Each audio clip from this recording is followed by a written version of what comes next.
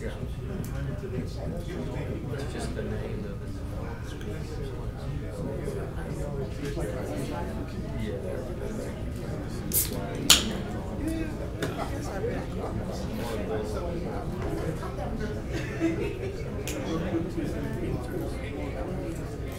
So, that's why I started studying. Oh, you, you got one of these? Yeah, that's pretty cool, man. I think we're ready to get started. I'm sorry. My, look at my remarks.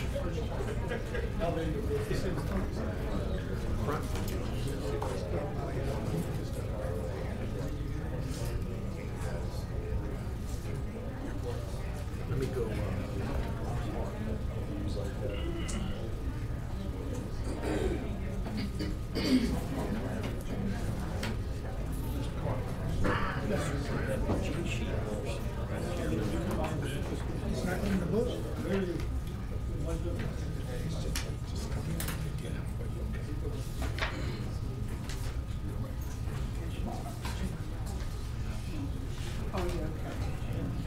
They just don't want to do that.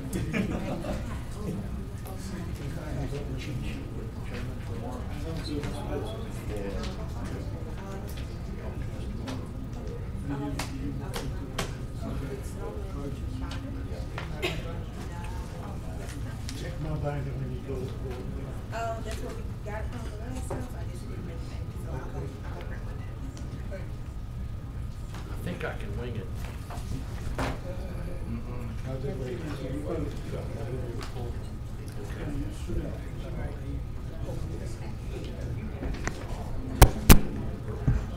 Ladies and gentlemen, we'll be getting started in just a moment, okay? We bear, um, we uh, beg your um, indulgence.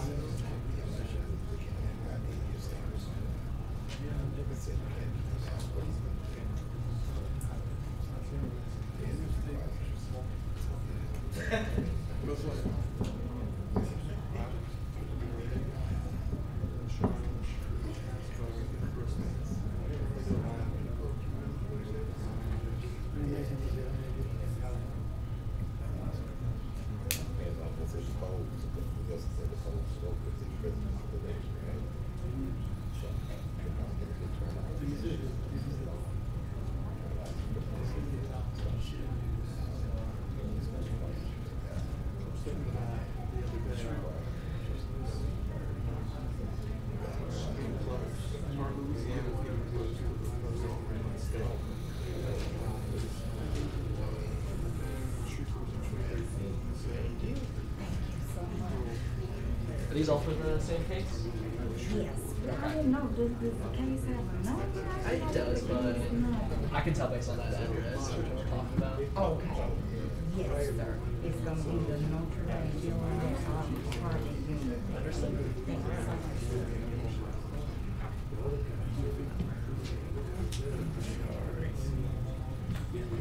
much.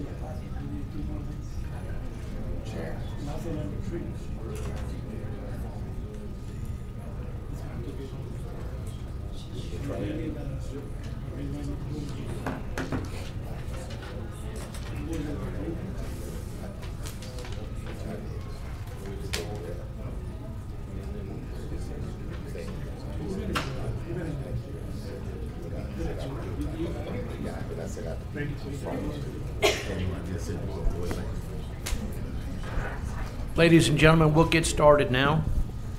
Uh, My name is Bill Robertson, and last month, the commission elected me chairman, uh, and Ms. Jackson to my right, vice chairman, and Ms. McCullough as secretary. And uh, I want to give a a note of thanks to Mr. Andrews for presiding over this commission over the past um, two years. Did a fine job and, and left some big shoes to fill. Uh, I appreciate everybody coming today. We have uh, several items on the agenda which we're going to go through.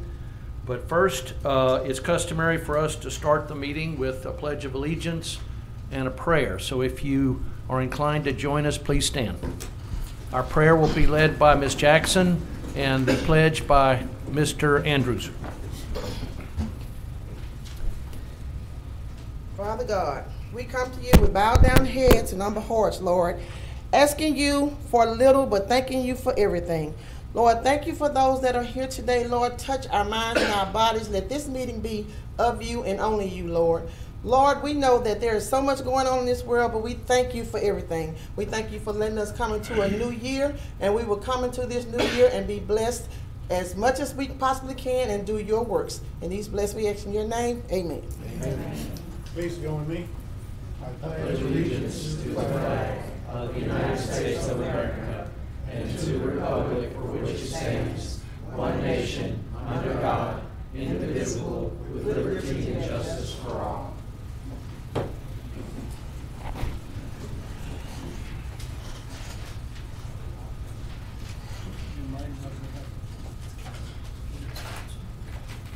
I have a, a few remarks to kick us off today. All of the cases on the agenda will be presented by Metropolitan Planning Commission staff, followed by a presentation by the applicant or reading of the applicant's written comments and questions, and questions by board members. We have all nine in, in attendance today, and I appreciate y'all coming. Written public comments that were received prior to the meeting will be read into the record as each case is called. Each public comment will be limited to three minutes of reading time. Once the time has expired, the reading of the public comment will discontinue.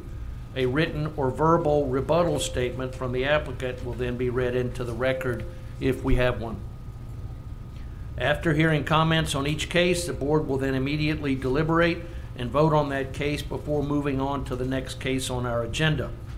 All voting will be conducted by roll call to ensure accurate recording of the vote. In circumstances where additional information may be needed to be provided by the applicant in order for the board to make a decision, the board may defer and continue the case to the next regularly scheduled meeting. For subdivision cases, deferral can only be considered if the applicant agrees to have the case deferred in accordance with state revised statutes. Any member of the public may request a copy of the board's decisions on a particular case by contacting our office, 673-6480, after 1 PM on Thursday, the day after our meeting, or by accessing, accessing our website, shreveportcaddompc.com.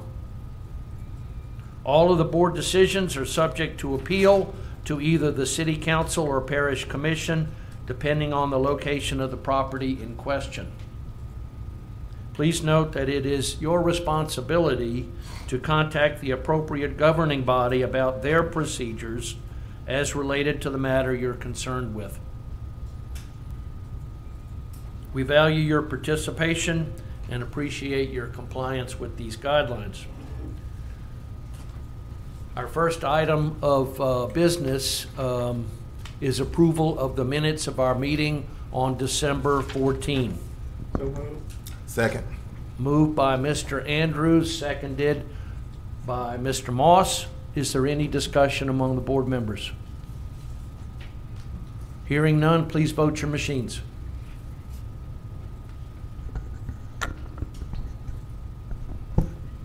Well, mine hadn't come up yet. Hadn't came up yet. There we go.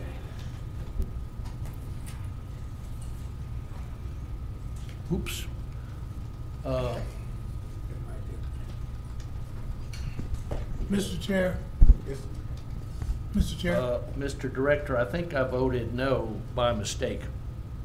We're off to a great start. Oh, yeah, we are, we, we can, we can vote again because we're having some technical difficulties and I think that the Caddo Parish Commission experienced the same difficulties, um, yesterday in their work session. Uh, the votes will not appear on this screen. They will appear on this screen though. Uh, so the public will not be able to see how you voted. Uh, you have two options. You can do that or you can vote by hands vote. Okay. Uh, All in favor of approving the mo, the minutes of the December meeting, please raise your hand. Any opposed, please raise your hand. It's unanimous in favor. Those minutes are approved. The first case is uh, number 22-14-SC. I believe it is a preliminary plat approval for a 32-lot, single-family subdivision on uh, Pine Hill Road and Desaline Street. And the planner is Mr. Ben Kobe. So, Mr. Kobe, please uh, take the floor. And at this time, Mr. Chair, and in, in this meeting, planners will not be able to present the cases if you would just ask for the applicant to come at each case, please. I'm sorry, okay. Uh, Is uh, someone here representing the development?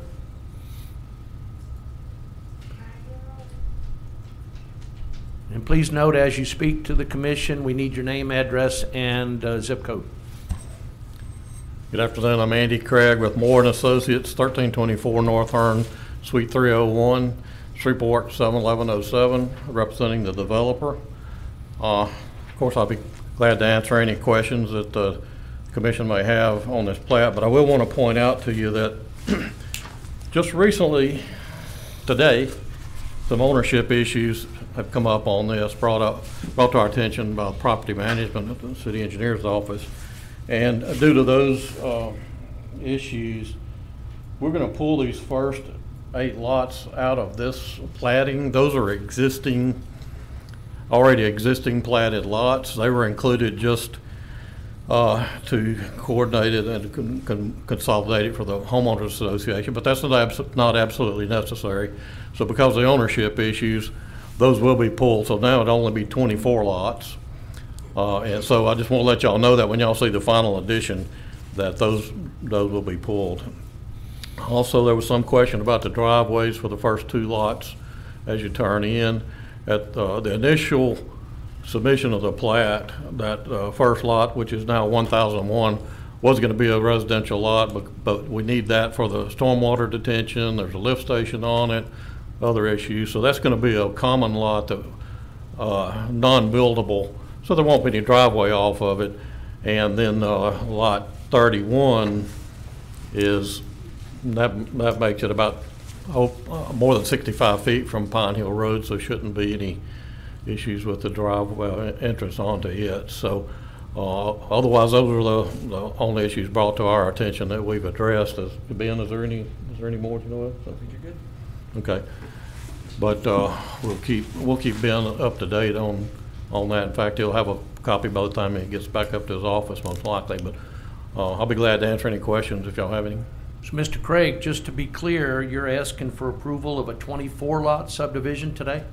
Oh, what? So, a 24 You're- lot, yes. You're asking for Yep. approval of a There's 32, 24-lot as, as you subdivision? said, and then we'll pull those first eight. Now, lot, lot nine is gonna be a new lot, but, uh, because the initial platting of, I don't remember what the name of that subdivision, uh, original subdivision was, but included lots one through eight as you see them on this plat.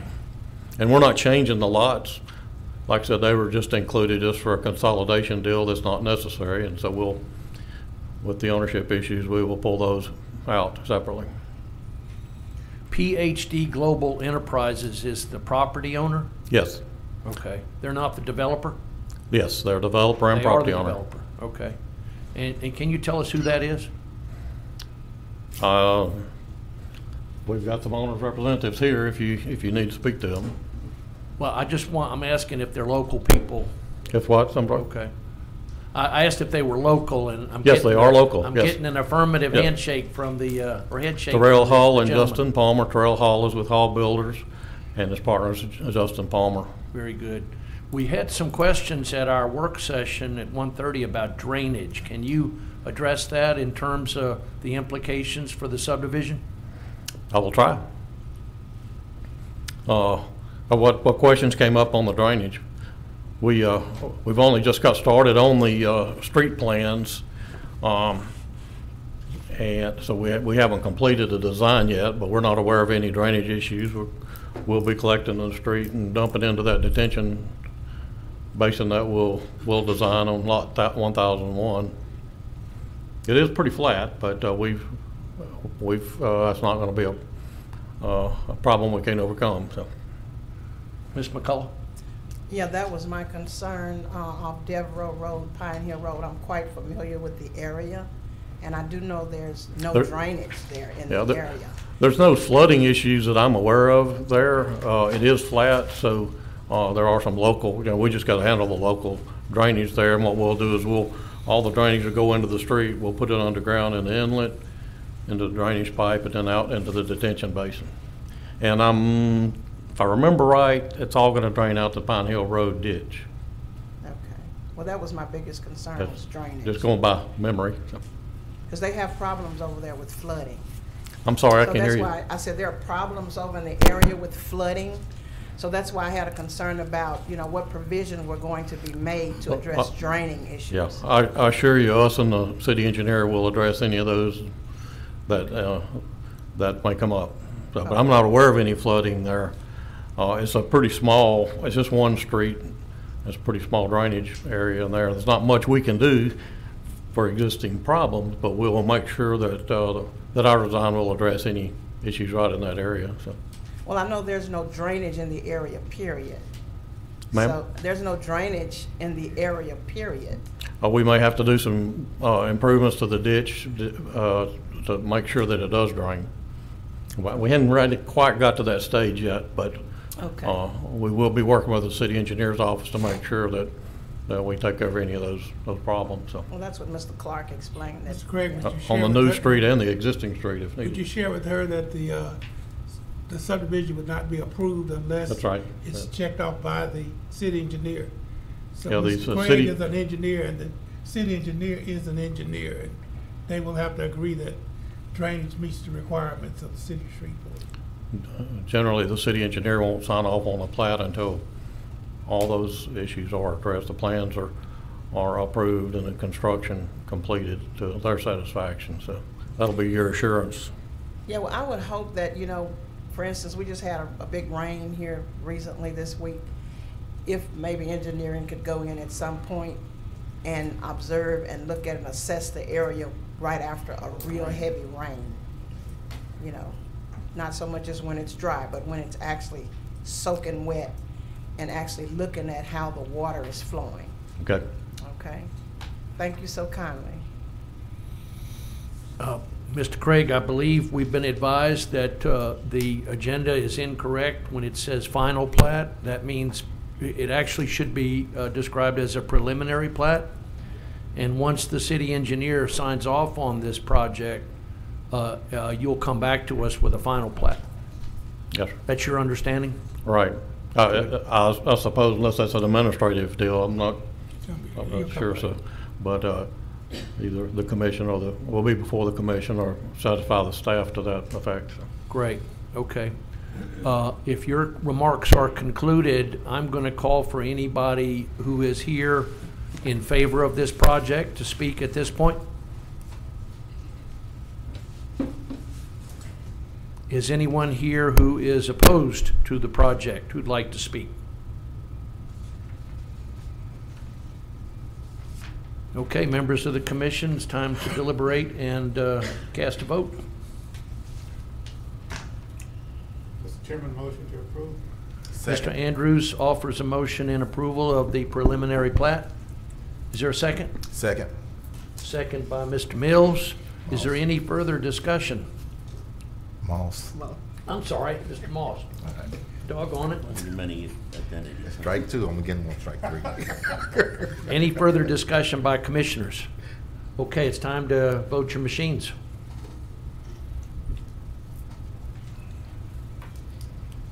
And we have to do it by hand because they can't see. Okay, let's, uh, let's cast a vote by hand. Uh, All in favor, please raise your hand.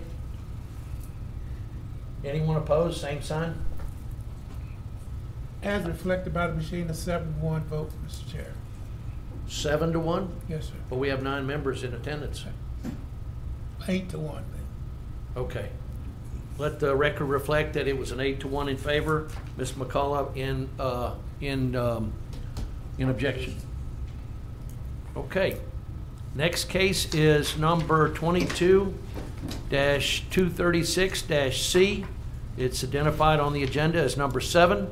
It is a zoning request by Mr. Leonel Padron, and the location is Merrick Street. Uh, My understanding is that this project is right off of Youree Drive and the uh, Youree Drive um, Service Road.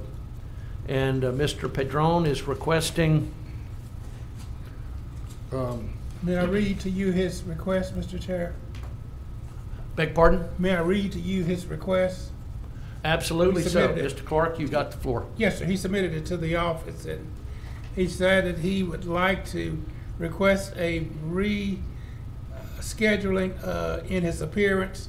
He is a transportation driver, and he's unable to be here today to answer any questions that the board may have. So Mr. Padron is asking for a delay in He's asking the, for a defer and continue to the February first meeting. all right. Would it be appropriate for us to ask the audience Yes, sir. if Yes, anybody is here Yes. to speak on this matter? Yes, I was just speaking because he will not be coming up. Okay. This is a rezoning of um, uh, three lots in the Stoner Hill neighborhood from uh, residential to um, commercial two, C2, for office space. And Mr. Padron is not in attendance, and so he's asked us to defer a decision. But if anybody is here in favor or opposed, it's the time now to speak. So anybody in favor of this project would like to take the microphone? Anyone in opposition? Okay, unless there are any commissioners, um, well, we have to take a vote to defer, do we not? Yep. Yes. Okay. All right, let's, uh, Make a motion to defer. Second. Mr. Sater motions to defer this matter, given that the developer is not here. And uh, Ms. McCullough, I believe, is the second. Any further discussion? Okay, please vote these machines. Let's see if we can get them to work.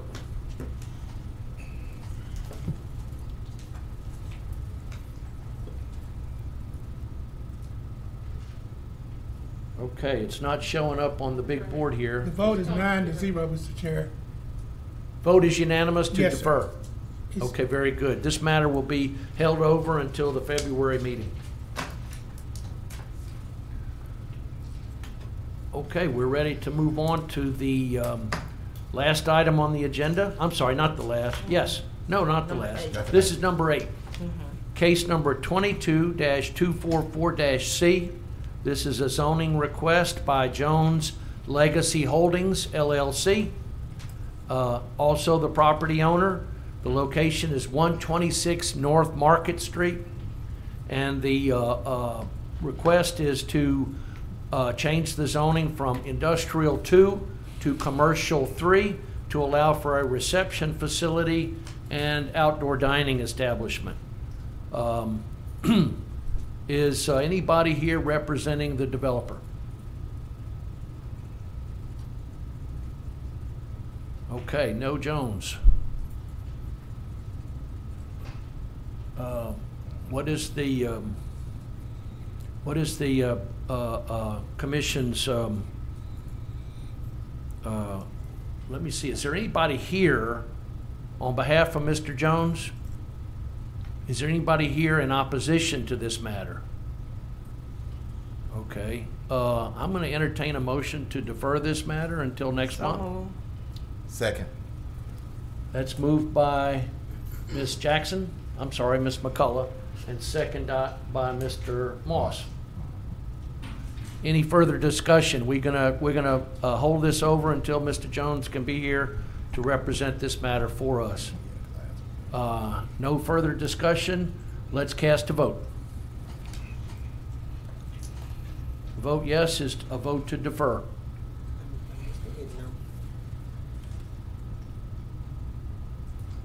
Okay, looks like uh, uh, uh, everybody voted yes to defer.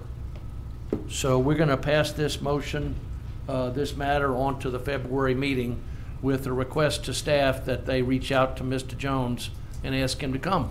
The vote was actually eight to one. It's eight to one. Eight to one. Was that one vote in, Yeah, there's a mistake.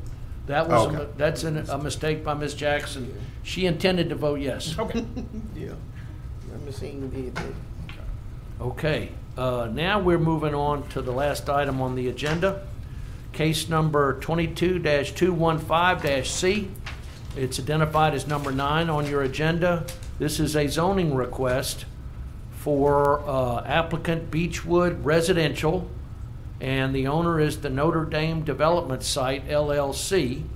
The location is twenty-nine thirty-two Murphy Street, uh, a city block uh, bordered by Murphy, Arkansas, Ashton, and Alabama. Uh, This is uh, currently zoned R15, which is single-family residential, and the request is to go to R3, which is multifamily residential. This matter was initially uh, brought up last month. The applicant was unavailable and asked us to delay a decision until today when she could make an appearance. And it's my understanding that uh, the representative from Beechwood is here. Um, Can you step forward, please? Identify yourself and make your argument. All right. Give me one second to connect.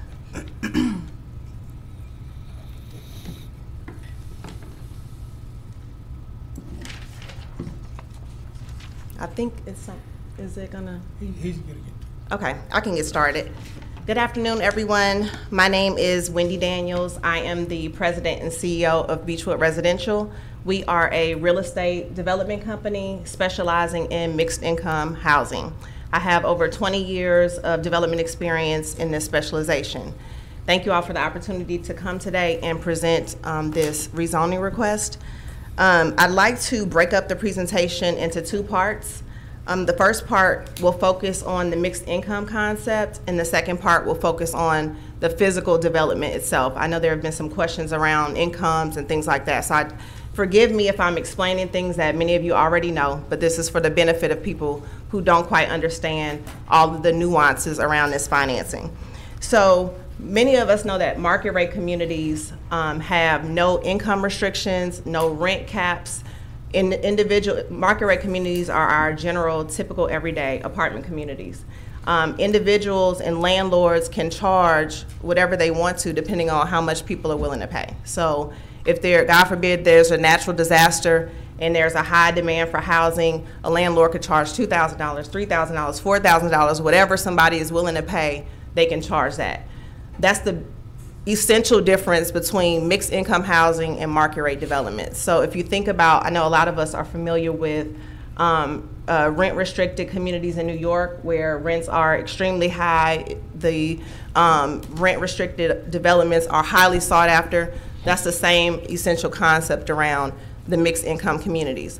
Oftentimes, when we talk about mixed income, people, most of us are generally familiar with just public housing or projects where the difference in those developments is 100% of the individuals in those communities were classified as essentially very, very low income. So in today's time, if it was a new public housing community, those rents could be restricted. I mean, the incomes of the individuals there would be restricted to like $20,000 a unit per household. Everybody, 100% of the people in that development would be capped at a household income of, let's say, $20,000. As we know, many public housing developments are being demolished. There um, is research around the idea of concentrating um, extremely low income families in a community, and that's no longer the ideal scenario um, for developments. So this, the difference in what we're proposing at the Notre Dame site is it's truly a mix of incomes. So we have a range of income um, restrictions that allows for a number of different um, household sizes, um, household income levels to live in this community. So at this development, if you think about the example I used for public housing, we have 5% of our units are restricted for individuals that would be at the 20% AMI, or 20%, uh, I'm sorry, 5% of our units would be restricted for families that made $20,000 a unit, um, a year, sorry, excuse me for that. 45% of our units would be capped at individuals making $33,000 or below. 30% of our units will be capped at individuals making $40,000 a year or below, and 20% of our units will be capped at individuals making $52,000 a year and below. The average salary, from what I researched, the average average salary of a certified teacher in Shreveport is $44,000 a year. A teacher with three, two children is eligible to live in this community. A teacher with one child would be eligible. A teacher that didn't have any children would be eligible. So this is really housing for working class families. It's just allowing for multi-tiered individuals to be able to live in that community. If we restricted our units at a higher income level, then that means that, um, let's say a pharmacy technician would not be able to afford the maximum rent in our community. So this financing allows us to set different income tiers to allow for a true mix of incomes. Um, when I think about the community I grew up in, the community I live in now, where my mother lived, my grandparents lived, those were mixed income communities. You had teachers, custodians, firefighters, everybody was able to live in a community together. So these are the same type of communities that we're um, attempting to develop. Um, research has shown that almost 50% of renters in Shreveport are rent burdened, where they're paying more than 30% of their income towards rent. I think part of what's happening is we are so accustomed to paying such high rents, we don't understand that we shouldn't be spending more than 30% of our overall income on housing. These developments, the financing we receive allows us to be able to lower the rents to a level that's actually within the affordable range for families. So when people hear affordable housing, they think that means low income housing. It essentially just means housing that different individuals can afford. Ms. So- Daniel? Yes, sir. Sorry to interrupt you. Uh, Please give us your address, Oh, I apologize. 1637 East Lakeshore Drive, Baton Rouge, Louisiana. Baton Rouge. And um, Mr. Clark, we've got some time limitations that uh, apply here, do we not? Yes, we do. She would have. And and they are 10 minutes for the main speaker? Yes, sir. And three minutes for everyone who comes after? And you do have the option, as the city council and the parish commission has, to allot additional time. Very If good. you so Continue, desire. Ms. Daniels. Thank Well, you. can we, can we just move to extend her time now so she can get through the presentation? Let's cross that bridge when we come to it. Okay. Okay. How much, does anybody know how much time I have left at this point? You're at, you're at four fifty, four minutes and fifty. Left? Oh. And we just ate up some of your time. so- Okay, so I have five minutes. um, I think one of the one of the my favorite quotes from my mentor who brought me into this industry talked about what people really are concerned about when we say mixed income housing is not mixing incomes. Really, we know you can actually mix incomes. It's a concern about mixing values, right? We don't want to live in a community with people with a different set of values from us. That's not tied to your income we I, we believe at Beechwood that regardless of your income, most of us want quality housing that's safe and decent. We want access to great health care. Those are all um, value systems that many of us share. The way that we can control the values of the people that move into this community is through property management. A lot of times when you see these blighted properties, slums, uh, heavy crime, it's a function of property management and not enforcing the same community values that we uphold. And we know that's important when you have a range of incomes. I've lived in a mixed income community. I didn't even know it was because the goal is you shouldn't know. Um, ultimately, you're moving into quality housing. I don't know how much my next door neighbor makes, and that's the same thought process in these developments. Okay, let me move quickly to the actual physical development. Let me get to. Okay, um, that's not great, but um, we understood when we um, started this development concept that it was inside of an existing single-family community. I've developed properties like this before. We want to be highly sensitive to the type of buildings that we're putting into this neighborhood, where we are not proposing to build an eight-story or five-story, three-story building in the middle of this develop in this in the middle of this neighborhood. So what you will find is all of the units along the uh, perimeter of the property, so Alabama Avenue, Ashton Street, and Arkansas Street are single-story buildings. They'll be duplexes, some quads, but they'll look like a single-family home, and I'll show you an example um, of that as well. There are a couple of buildings inside the property that are two-story, but they're only two, and those will be shielded by the single-story buildings. This development, this is um, another development that I recently did in um, Shreveport um, in conjunction with the Housing Authority and their uh, consultant. I have some videos, but I'm not going to get into that. Okay, so this is an example of the style of um, units that we're proposing to develop at this site. Again, it's a $17 million total project cost. Um, Beechwood, our, our mission statement is to develop communities that transform the lives of our residents, um, enrich the lives of our residents, and transform communities by developing housing of superior quality. We don't develop housing that you can tell is affordable housing or low-income housing. We develop market rate housing that allows for a mix of incomes. And so the standards of our communities will look like this. We have, like I said, there's another de- development here in Shreveport that we recently finished. The financing that we utilize actually has higher design standards than, than most market rate communities. So these are fortified gold, which means that they should be able to withstand um, natural disasters. It's energy efficient. It's um, caps in terms of the overall size of the, the unit. So it's a high quality um, development. Lastly, we are um, well, not lastly, but I, I'll, I'll skip that. This is this development is in line with the 2030 master plan. We aren't proposing to do something on this site that wasn't called for um, in the overall Shreveport master plan. And one other thing I will say is this is just the first step to the process. We literally just asking for rezoning right now. We don't have any full plans, any drawings. We had a community meeting. It was not well attended. We are happy to continue to have meetings with the community. We do not intend to come into the neighborhood and develop something that the community doesn't want to see. So we're um, welcome to a condition of the rezoning to be ongoing community meetings, a design charrette, a focus group before permits could be issued to ensure that the community is comfortable with the overall development that we're planning. Any questions or how do we, y'all want to? Ms. Daniels, um, you said you uh, previously have built some projects in Shreveport? So there, um, the, the Wilkinson Terrace site, the former public housing site across the street from that is Fairfield Estates. Um, it's a 12 unit development that I worked on with the Housing Authority and their, um, their consultant. Here's a picture of it. That's the inside. You see it's granite countertops. For some reason, my mouse isn't working, but it's actually a video that'll show you. You can see the inside of that unit. So it's beams, floors, it's 10-foot ceilings. I mean, this is the standard of the communities that we're developing.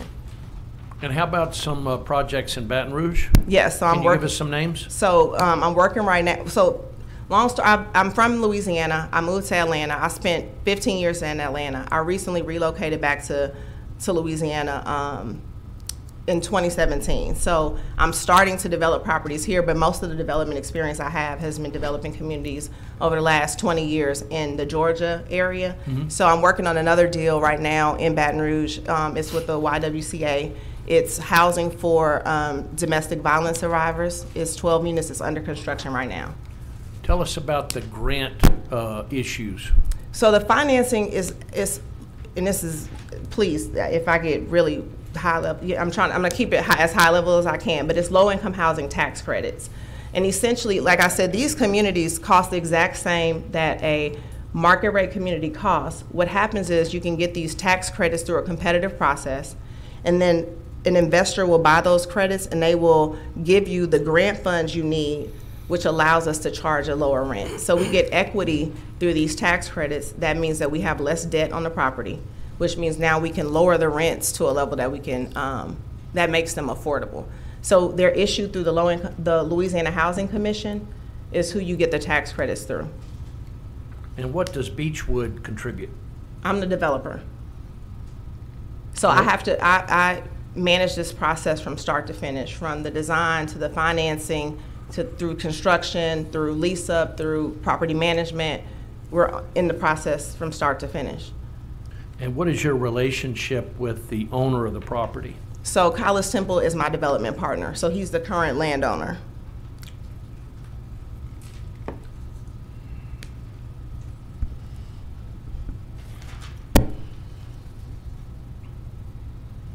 Um, You made a statement that uh, um, the Notre Dame development, as we'll call it, uh, is in keeping with our master plan. I believe the staff has a slightly different opinion. Can we get a comment?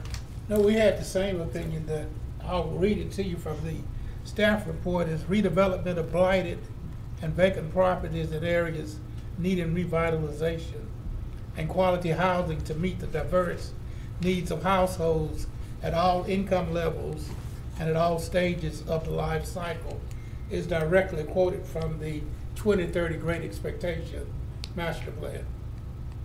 So this is a, this is redevelopment of a blighted area. You see a school that's not the, at the quality that the school once was, and it's blighted in, in concept because it's falling down.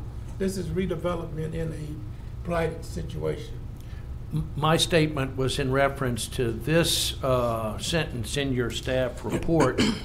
As the proposed zoning district allows for more density than that outlined in the future land use designation, it is not entirely consistent.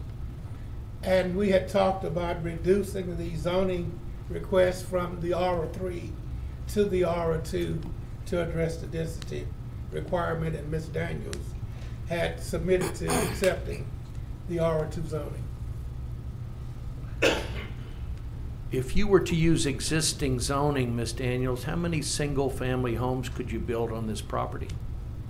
I'd have to explore that. Um, it, the- challenge is this financing is very expensive, and when you get less than about forty units, you can't make, I couldn't make the numbers work with this type of financing. So I'm not sure exactly how many units. We, we ran the numbers and that's how we got to the sixty. Um, because if we drop down below that, the cost of the financing, um, is too expensive to do twenty units, let's say. We're, we're remembering that, uh, it was close to seventy-one single, uh, family dwellings, uh, if they were all single-family dwellings. So sixty versus seventy-one. So you can't make it with single-family uh, residential with traditional lots and grass and all that good stuff? No, I wouldn't be able to make, not this development concept work.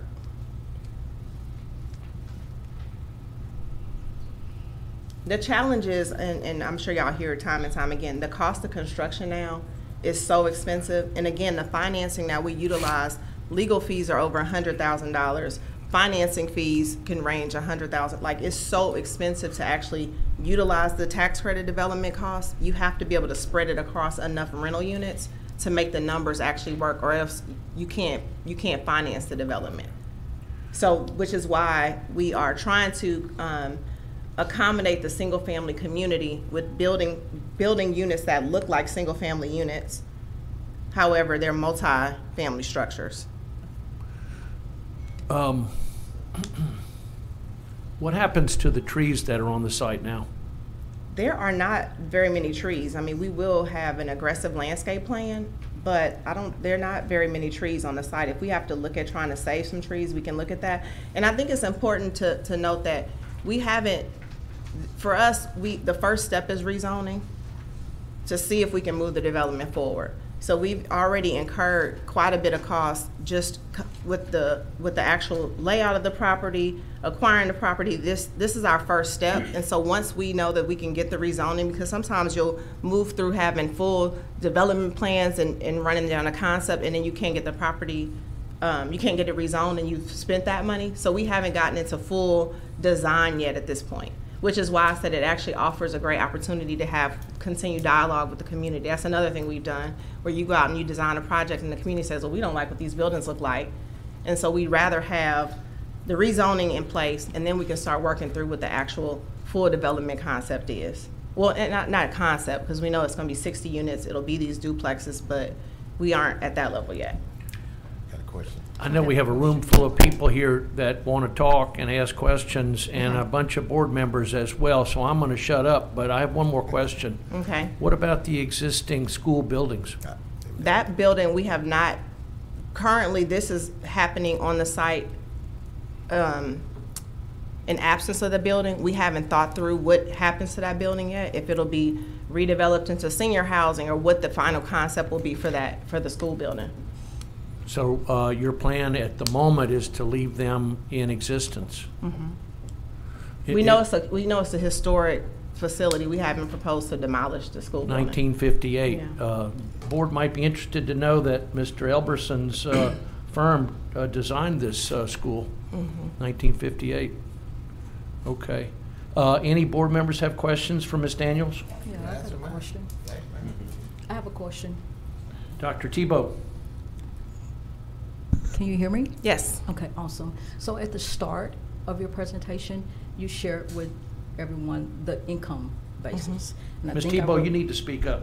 I'm, I'm doing the best I can. Is Okay. that- Is that good? Yeah. Okay, all right. So you said income less than twenty thousand, and then you gave the high range of income, you said fifty thousand or less. You started at twenty thousand or less, you went up, you maxed out, and you said fifty thousand or less. So in actuality, the cap for qualifying to live here is less than fifty thousand. Is that correct? um, as of today, let me, let me, can if I can pull up a chart, I think it would be helpful. But essentially, we'll have units set aside at thirty percent AMI, area median income, fifty percent area median income, sixty percent of area median, median income, and eighty percent of area median income. For a family of four, eighty percent of area median income is fifty-two thousand dollars. That changes every year. Sometimes it goes down, sometimes, primarily it goes up. I can't say exactly what the cap will be until the actual income. I can tell you what the, the limit is. It's at eighty percent AMI. But this property wouldn't even be, uh, um, individuals wouldn't be able to move into this development if it moved forward until twenty, what are we, 23, 20, 25. So it would be based on what eighty percent AMI is in twenty twenty-five when those individuals are ready to move in. So right now, the highest income is fifty-two thousand dollars. Okay, so my, my second question, and this is just based on equity of mm-hmm. income across the, mm-hmm. across the board. So you, you have a cap mm-hmm. for those individuals who qualify. So based on your standard of living, the showing, how, how is the rent stratified? Is that based on income? Is it based on the model? What makes the difference of the qualifying income?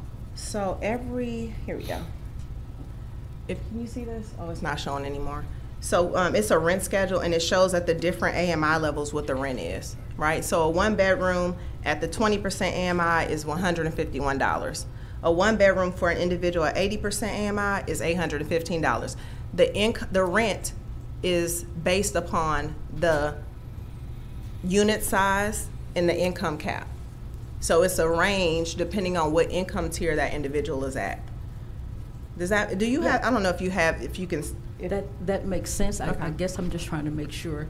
So there are different model homes, and depending on the model home and what's inclusive, fireplace, no fireplace. oh, no, no, no, no, all of the units are the same. They're all the They're all the same, they all have, So we, you're regardless not, of the requ- income, you're not everybody allowed has to. the same Mhm. apartment. So the Yep. person who's making fifty thousand dollars Has- pays the same amount of rent as the person who's They don't pay making the same amount of rent.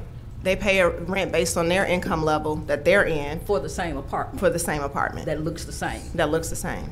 Okay, I just wanted to hear you say that. Yes, that looks the same.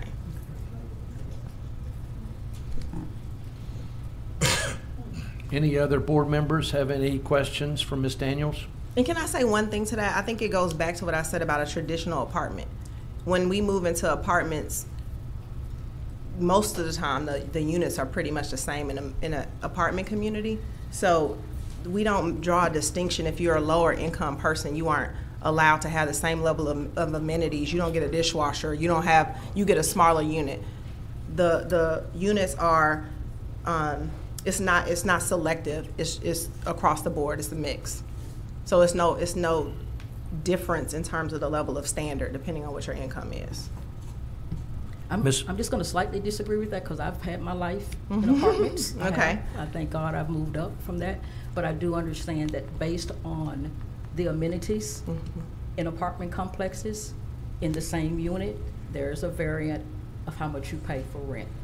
So I just, and so that's what prompted that question, and then based on the income range that you. And we can't charge more. We, we're, that's the, diff- that's the problem. We, c- we don't get to charge you more because it's a better, u- we're capped at how much we can charge you in rent regardless of what your apartment looks like. Okay. So that's the difference. Ms. McCullough? Um, I guess what I, I- what I, my concern is, you know, I've had some experiences with tax credits and, uh, housing. And I expressed it in our work session that, um,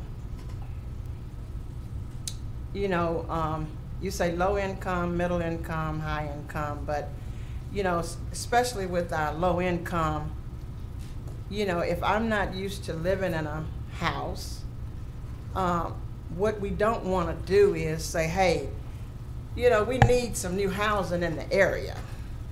And what we don't want to do is bring in low quality housing. Example, a housing that I was familiar with was built with, you know, substandard lumber, you know, untreated lumber. The distance between the houses, you know, it wasn't like it should have been. Uh, no sidewalks, no doorbells. I support um, new developments in the community, uh, and especially when it comes to low income, middle income. And I guess what I want to say to Beechwood Residential, we don't, we don't, we don't get excited over it looking new. We want it to be of good quality when you bring it to us. So, uh, and I understand from our director that all of this comes under the auspice of the engineering department. And so, through our city council, you know, we need to make it known that this is what we so desire. And like I said, based on my experiences, over ninety percent of the tax credits that came in the state of Louisiana, and we have sixty-four parishes in the state of Louisiana. Over 90 percent of the tax credits came into the Martin Luther King community.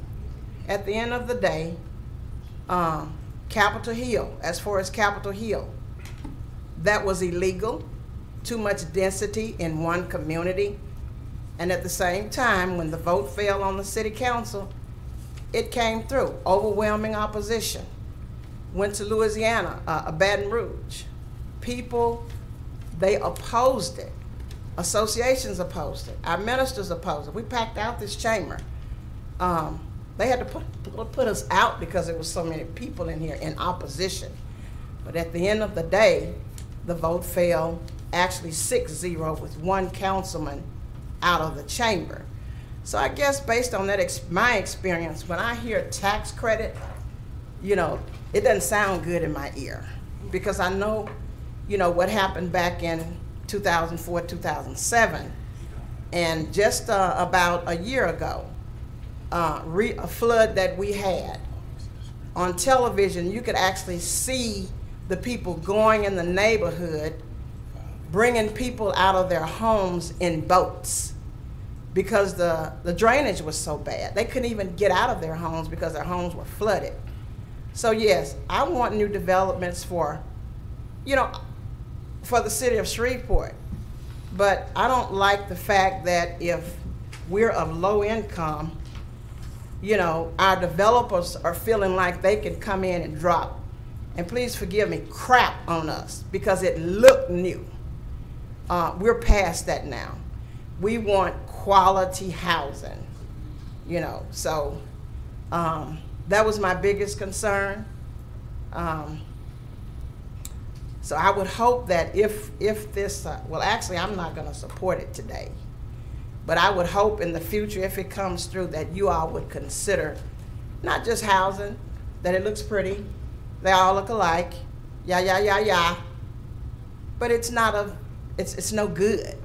You know, at the end of the day, you're pulling our people out of their houses in boats because they can't get out. So bring in quality housing if that's what you're really interested in. I hear you say you're from Atlanta.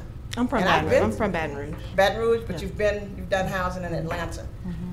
And I've seen some housing in Atlanta, and it's very nice. I mean, I like what they're doing in Atlanta. But what I cannot appreciate, and that's where I'm headed, is you proposing something that looked pretty, freshly painted, you know, that's not of good quality. And I feel that our community, you know, we're being taken advantage of because we are of low income. And what we have is the dilapidated and raggedy. So if I come here and I build something and I make it look new, you're gonna get excited. Oh, we got some, and then it's no good. So I'm asking Beechwood Residential, if you get in, bring us good quality housing. I can assure you that I have the same um, standard of quality housing, and I would love to tour you on the in the development that we recently completed, so you can see it. I will tell you, most of our communities average about 175,000 to 200,000 per unit in develop in, in development costs and construction costs. So this, I don't, um, LHC now under their new leadership, they've even increased the construction standards. Like I said, they, it's called fortified uh, gold or something. It's something brand new. So it's it's costing us even more now to develop at that level. But I share. Um, this is not just, and, and I know people say all kind of stuff to y'all, and so the name of my company is Beechwood Residential, after the neighborhood my family grew up in. It was a minority community that had, like I said, it was a range of incomes. I'm committed to quality housing for low-income families, and I'm not saying I'm not saying pretty, right? I want it to be pretty, but it wouldn't be anything I wouldn't live in that I wouldn't put my um, family in. I think, like I said, the, the picture shows it has um, smart thermostats, it had faux beams, it has granite countertops. Um, so I, my the developments that I've done have won national awards.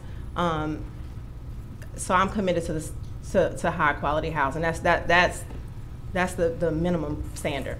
And making sure there's good drainage. Good drainage. Because yes, in a lot of our minority communities, there is no drainage. You know, we're constantly building and no drainage. Mm-hmm. So definitely you want to work with the engineering department, with the city of Shreveport on draining issues. We're going to turn to Ms. Jackson and then Mr. Elberson. Hi, what was your name? Wendy Daniels. Wendy Daniels. Um, I applaud what you're doing and, and, and you're making great efforts to make improvements, but I have to piggyback on what Ms. McCullough said because in the area where I know we have some affordable housings where there's flooding issues, there's different development is is terrible. I mean horrible. The people they can't get their lighting fixed. And it's called Concordia Place over in Stony Hill. And it's just where it's just horrible. They've paid like a hundred to five hundred dollars for affordable housing but it's it's really a nightmare for them and they're not getting any help after they've gotten in the contracts so what i kind of uh, want to suggest to you or recommend that you do that maybe if y'all can, if it's some kind of way that you can investigate as far as the landscaping, the, the drainage, or what's going on in those communities, because yes, everybody wants a nice home, everybody wants to be able to afford a nice house, but you don't want to have a disaster once you get in there and can't get out of it. Mm-hmm. So, I mean, I, I really applaud what you're doing, but just please, if you could, just make an effort to try to be in their shoes once they put their money in and they're in there. One thing I will say, when I, when I said the, our mission statement, the first thing is enriching the lives of residents. What I didn't talk about is, we have a robust resident services. We don't just move people in and, and forget about them. Thirty percent of these units are set aside for single-family households.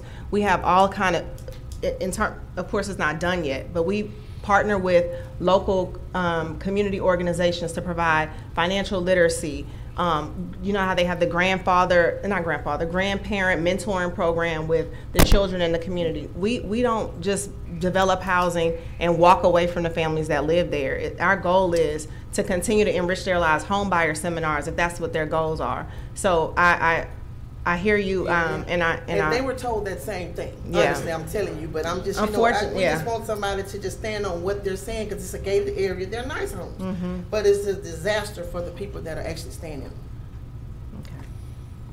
Mr. Elberson? Hi, I'm just curious, uh, with the type of financing that, that you're going to utilize on this, um, do you all have any requirements for any kind of mixed use uh, on the site? Just No mixed use. We will have a community building, fitness center, um, I think computer lab. I'd have to pull up the exact amenities, but no, no actual commercial space. But everything that would, all your intended uses would fall under the requested zoning, I guess? Yes. Okay. Mr. Mr. Roberts, I have a question. And this is kind of like a twofold question, and I applaud what you're doing, but I understand what my colleagues are saying. Uh, and this is a question for Mr. Clark also. These projects come in front of us first for us to approve them. And then they, and if, uh, correct me if I'm wrong, and then they have to go in front of the engineer and all that kind of stuff. And some of those questions that we want to know about, like the drainage and all that kind of stuff, that's taken care of in that area. What type of wood you're using and all that kind of stuff. Does it come back to us again? No. Like I said, uh, today, what's before you, and you've gotten all around what's actually the application was submitted for.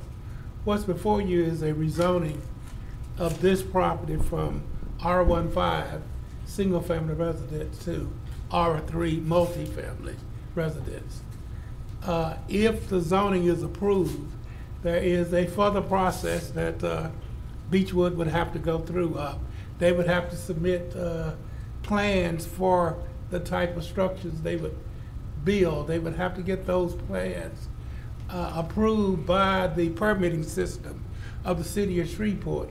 There is a city engineer that actually approves the subdivision, that would actually review the drainage of the property. Uh, There are a lot of things that happened uh, years and years ago that the uh, Unified Development Code was set out to, to correct. Uh, So, you know, I cannot sit here in front of you, and neither can Ms. Daniels, and say that something may not slip through the cracks. But there is a process to where everything will be inspected uh, uh, from the building, but that's not before the MPC board. All that's before you is whether or not it is appropriate to rezone this property from single-family dwellings to multifamily dwellings. And we will take care of the, and the city of Shreveport will take care of the actual development.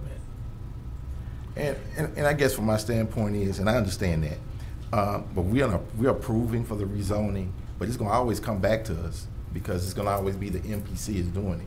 So I guess moving forward, I guess we need to follow the steps and what's going on with these different projects. Because my colleagues, they have a lot of concerns because they've dealt with it in the past. So if we can, as MPC uh, commissioners and just talk amongst each other and amongst the other commissioners, city councils, and the engineers to make sure, follow these projects through to make sure that we're getting quality projects. Because I love what you're getting ready to do over there because there's a lot of blight over there. And that's one thing in, in, in the city of Shreveport we're trying to get rid of.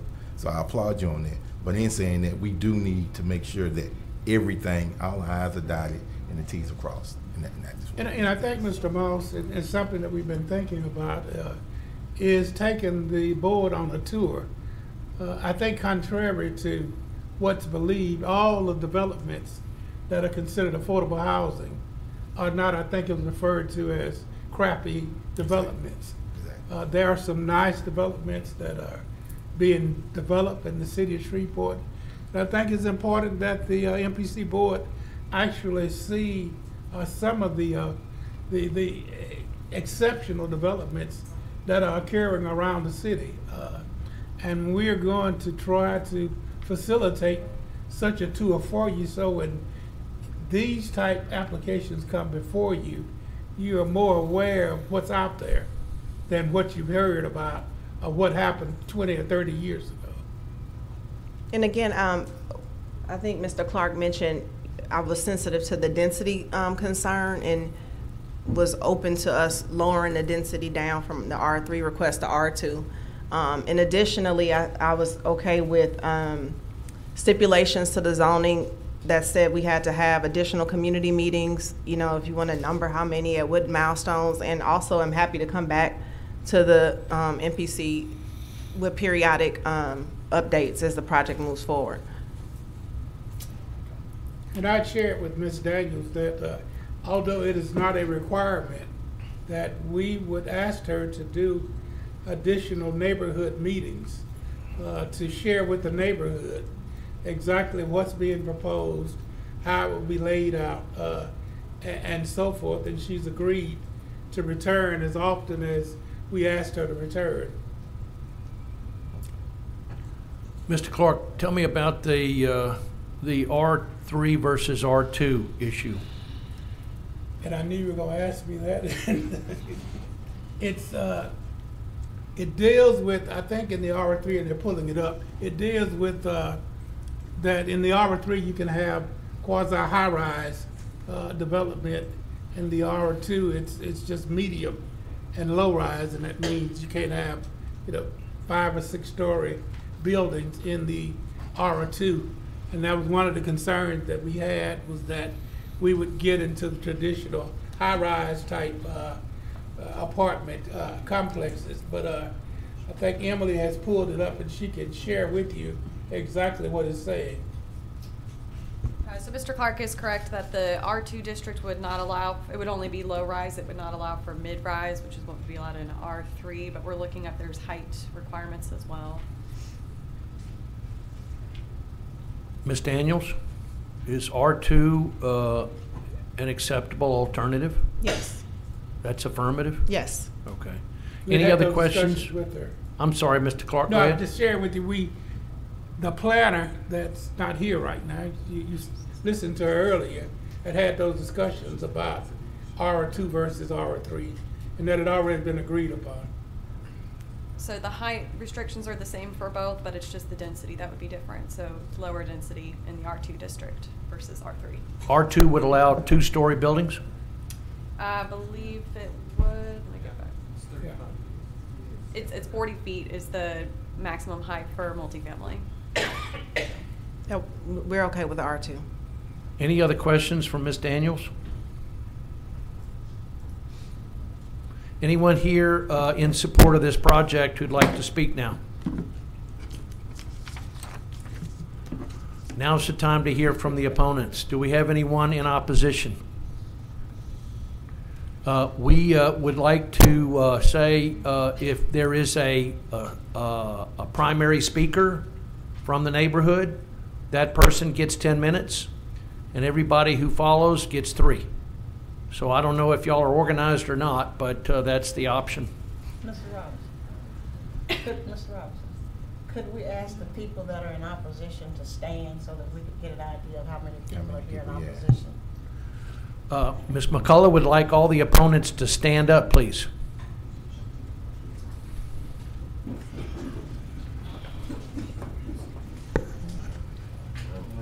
Peter, I will say this. My name is Hold on, ma'am. Hold on, ma'am. You can't speak from the floor like that. I'm sorry. If you'd like to speak, we'd welcome you to come up to the microphone. Okay, that's good. Is there a, uh, a spokesman for the group, or uh, everybody wants to talk? Either way, it's okay with us. I think we counted twenty, Ms. McCullough. Twenty. Yes, ma'am. Okay, who's number one? Who's going to lead us off? We'd like to hear your name and address, please. My name is Earl Lynch. My address is 2735 Middle Street, and the zip code is 71103-2305. I'm opposed to the multi-family dwelling in the area.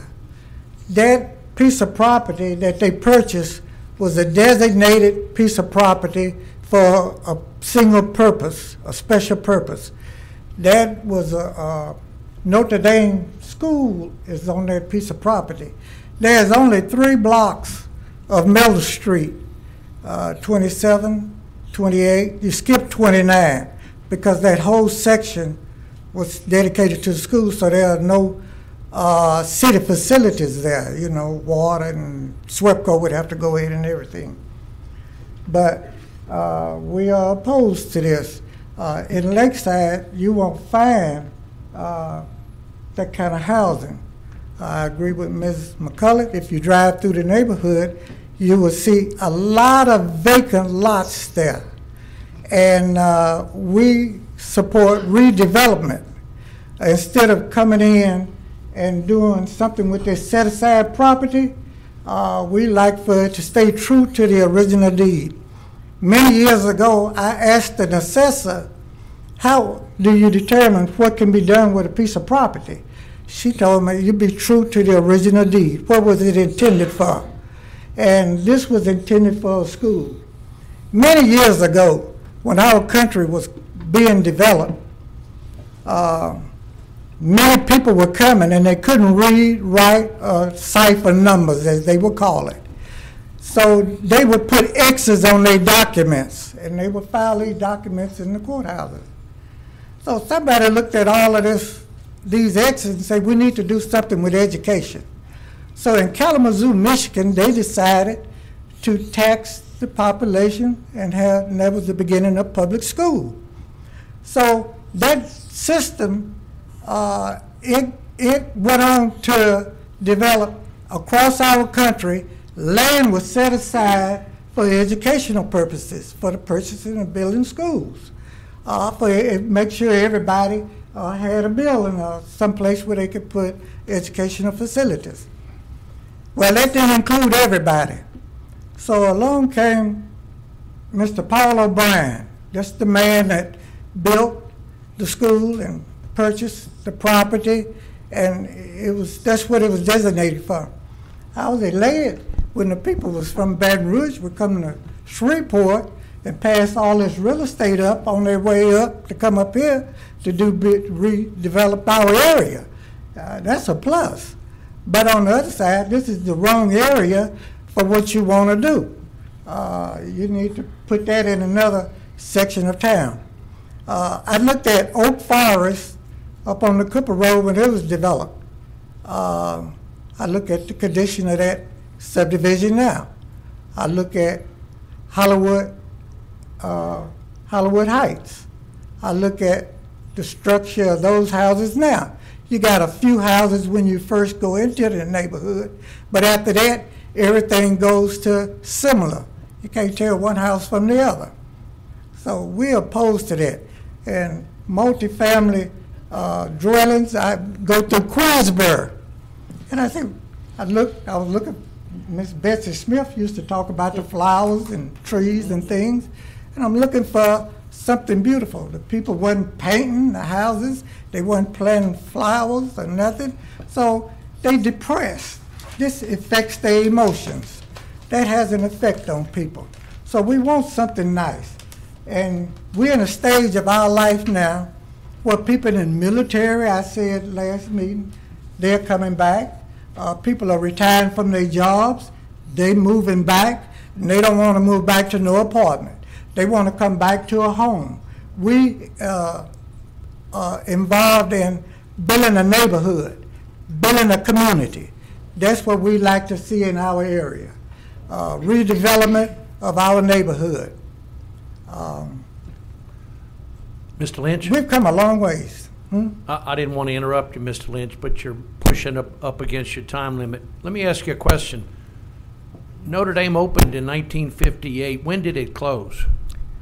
Uh, in um, coming into the uh, 70s, first part of the 70s. And, and do you know why it Middle, closed? middle part of the 70s. No, uh-uh, it was still in the, in the Closed in the nineties. My niece there, my Closed sister in the had all her 90s. kids to Yeah. attend there. Probably No, two close in the thousand. And, uh, 2000. Two thousand, yeah. 'Cause I went to Citrus Free Methodist. Now I was born on Middle Street, and uh, the street ended in front of our house. Um, Hearne Avenue didn't exist back then. I remember when the city limits was right there where Evergreen is, Baptist Church on Allen Avenue. It was just a little east of that. Then, in, when I was in high school, the city limits moved to Madison Avenue, which is just on the other side of Booker T. That's they didn't wasn't no bus; it was a trolley. That's where the trolley would turn around and go back. So everything beyond that point was outside the city. Then later on, they moved the city limits up to where the waterworks are on the Blanchard Road, and uh, from there they moved on out to uh, Greenwood, uh, Greenwood Road, out there just about right in that area where McDonald's is located. So I've had a chance to see the city grow, and uh, people in education along with it. And my father was one of those that valued education. Uh, it's the lifeblood of our community. Mr. Lynch, what's your street? Metal, M-E-T-A-L. It's off of her. And for her. Meadow Street. Mm-hmm. Is Mr. Temple cutting the grass there at uh, Notre Dame? Say what? The current owner is Collis Temple from Baton Rouge. Is he cutting the grass since he bought the property? I haven't seen it being cut. Um, there's a bunch of other folks who want to talk. Okay. Thank you for your remarks. Oh, one other thing I'd like to say. Across the street from this property, there's a church called St. Augustine. I'm pretty sure the members of that church don't want music while they're trying to have worship service. I'm pretty sure they don't want to hear the lawn mows and the blowers going while they're trying to have service. Is the pastor here? Yeah. Did you stand? Oh, he went out a minute. That's one of the members there. I think St. Augustine is over 100 years old. Any questions for Mr. Lynch? Well, I, I just got a question. What would you like to see happen in that in that area? I'd like to see the just sitting there. redevelopment of those vacant lots. Uh, I'm not talking about the vacant lots. I'm talking about the school because the, The school, school? is is blight. Yeah. It's, it's like, it's yeah. like neckties and dresses and suits.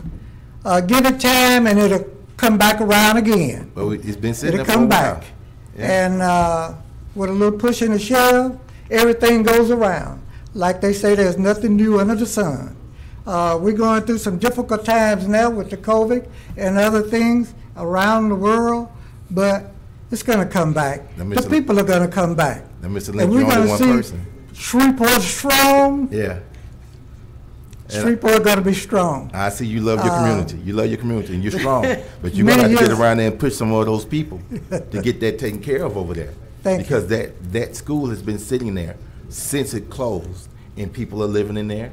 You have a lot of people staying over there in place. If you go over there and visit it, because I drive through there quite often to look at that school, because it's a historical mon- uh, monument, uh, really, and it need to be taken care of better. Yeah, it does. So all the people in the community around there, you know, I'm not telling you what to do, but you're saying you're strong. If that's your neighborhood, y'all come up with a plan and, and talk to the young lady and tell her what you want to see over there.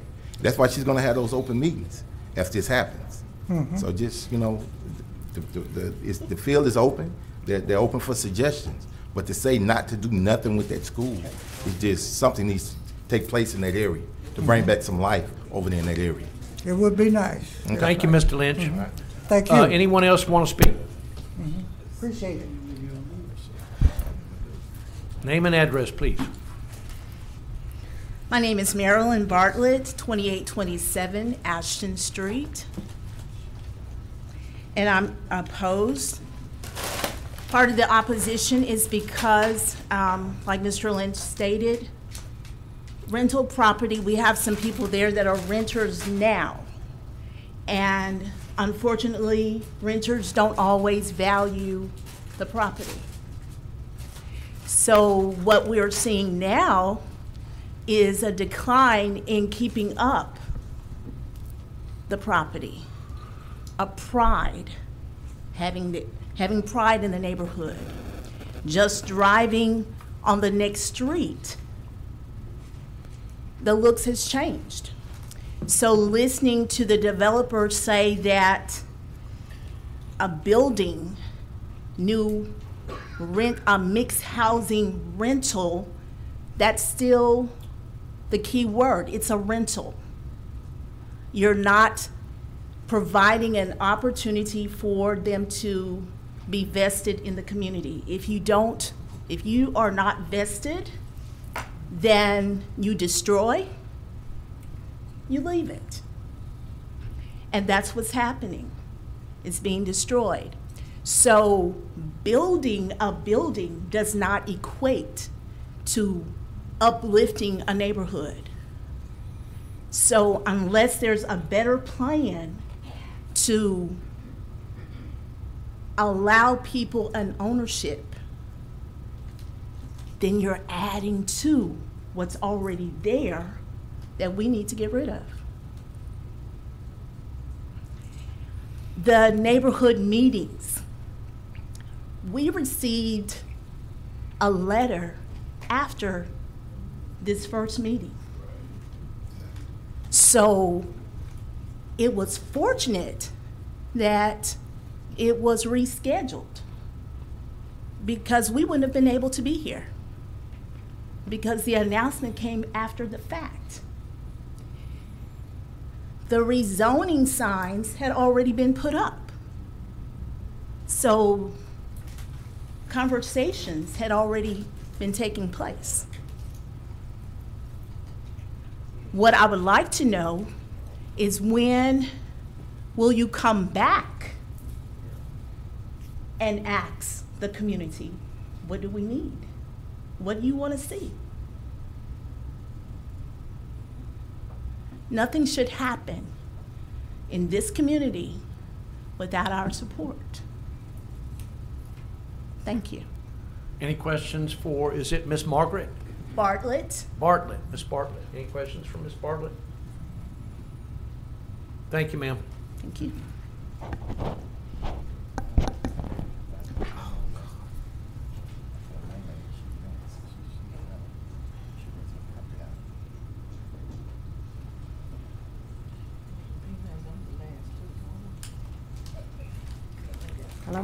My name is Yura Coleman. My address is 3111 Looney Ms. Street. Coleman, we can't Ms. understand Coleman, can you're speak up, please? Pull that Okay. mask down a little bit. Thank Yeah. you. There you go. Thank you. My name is Yura Coleman. Uh, my address is 3111 Looney Street. And I too am opposed to this, but I do have a question or two. Ms. Gwen, I don't remember your last name, so just let me address you as that. When you um, talk about that property now, you go back and forth. Now, when you're done with this deal, you're done, you're back to Baton Rouge. is Ms. that Coleman, correct? Ms. Coleman. can you address us, have- you have please? to address Uh, us. We're going to Oh. ask Ms. Daniel to come back a little bit later. Okay. So Yeah, to address your- address your questions to us. Okay, well, in that case, that takes care of three of my questions. Well, do you know then if this project is done, is done, whether or not it will be, who's going to manage this property? Will it be managed by the Housing Authority of Shreveport? Will it be managed by the City of Shreveport? Who exactly is gonna have control of the management of this facility that's in our neighborhood? That it's, um, We'll, we'll address that with Miss Daniel when she comes back up. Okay, you will address that with Ms. Daniel. Also, I did, I could barely hear the comments on the R2 and the R3. So I'm a little bit confused on that, the residential two and the three. Um, some of the buildings that she did show was a two-story building. She said that would only be centered in the middle or certain sector, but does that not put it into a different category, the R2 and the R3? I'm a little bit confused on that. So will I have housing that's two stories above, or one story above my house that looks down on me? So I am concerned about the structure as well, okay? So I guess that's something that you were asking as well. The other thing is, she talked about the mixed income. Uh, Five percent that would be restricted for twenty thousand dollars or below, forty-five percent, thirty-three below, and the thirty percent that she mentioned was forty below. That takes care of eighty-five percent. What happens with the other percentage and what below, does that below, when you say forty thousand and below, that can also mean below twenty. That could mean fifteen. Okay, that could mean ten or five, because each number goes below. So we need to be a little bit more specific on that, okay? And, um, also the mixed income housing by, um, fifty thousand below. So I did have a question, and I'll allow you all to take that to her, and I'm almost running out of time. But for the most part, if we're talking about this type of housing, and even with the fifty thousand dollar um, income and the ten thousand dollar, twenty thousand dollar income, I'm not prejudiced against anybody because I've been in both brackets. You know, I've lived in good neighborhoods and I've lived in bad. I made a decision to come back to my neighborhood because I made a decision is where I wanted to live in my parents' home, and I am so happy there. So, um, but I am concerned if it were I, um, if I made fifty, sixty, seventy thousand dollars a year, I certainly am not going to choose to live in an area that is already considered maybe not a bad area, but am I going to choose those areas? So when those persons don't choose those areas, what do you do with those remaining units that you have that have not been filled in by the 50,000, 40,000, 30,000?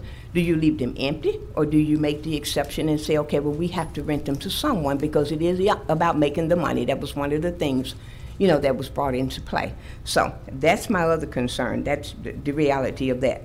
Okay. My third thing is the zoning that you're talking about. I'm, a, I'm opposed to the zoning period because when you talk about um, zoning from one to the other, then you open the opportunities for other build for other uh, businesses and for other persons to come in and say we want to build some Let me houses. make a to-" motion to extend the time. Can we do that?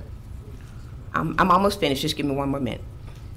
Okay. Because there are, thank you very much, I appreciate that. There are a lot of empty lots there. There are a lot of unmaintained properties, which means when you rezone this area, then Billy Joe Willie and Mary Sue Pookie can come in and say, okay, I'm just gonna take these two lots and I can put something on here and there because it has been zoned for that. And that won't have to even be cleared through this our planning committee because the door has already been open for that. So I would like you all to reconsider zoning, period.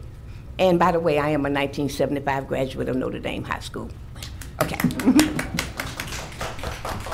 Any questions from Ms. Coleman? Any questions from Ms. Coleman? Okay, who's next?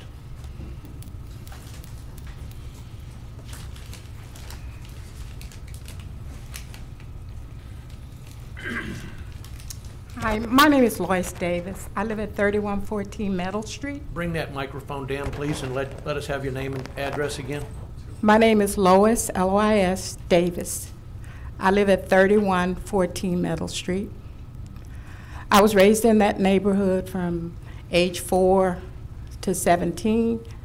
I'm now 75. I left Shreveport and came back in 2012 to take care of my mom, and although she died last year, I'm still here. Uh, I attended school in that area. I went to Central Free Methodist, graduated from Notre Dame in 1965, and uh, I thought about that area when the young lady was talking about the area she grew up in. Because when I grew up on Meadow Street, it was very similar to her neighborhood. Everybody lived in that neighborhood. My mom was a beautician. We had doctors, we had lawyers, we had all kinds of mixed groups of people. And most of them were, in fact, homeowners. I've looked at that area now, and it's blighted. It's blighted.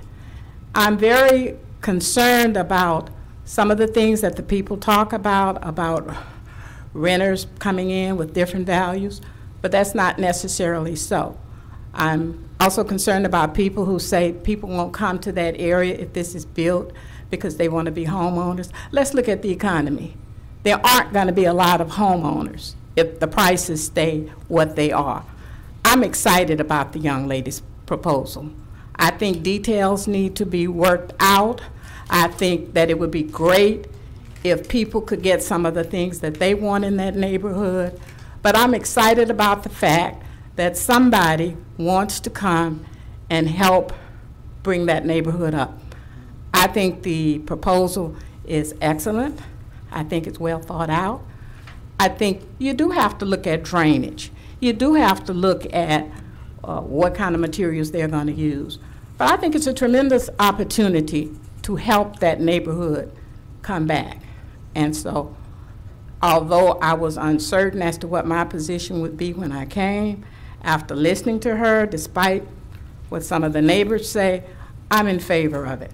I am not in favor of the fact that apparently some of the people did not get the notice that I got, so that some of the people have not been informed. So that aspect of the project, of the process, uh, I don't agree with. But otherwise, I'm excited, so thank you. Ms. Daniels, did you receive, Ms. Daniels? I'm sorry, Ms. Davis. Yes. Ms. Davis, I'm sorry. Yes. Did you receive a uh, invitation to a neighborhood participation meeting?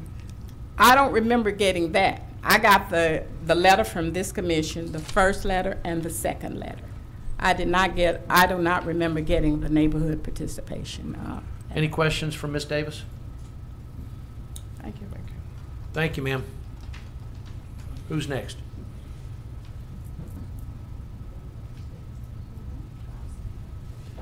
Ms. Daniels, you taking notes?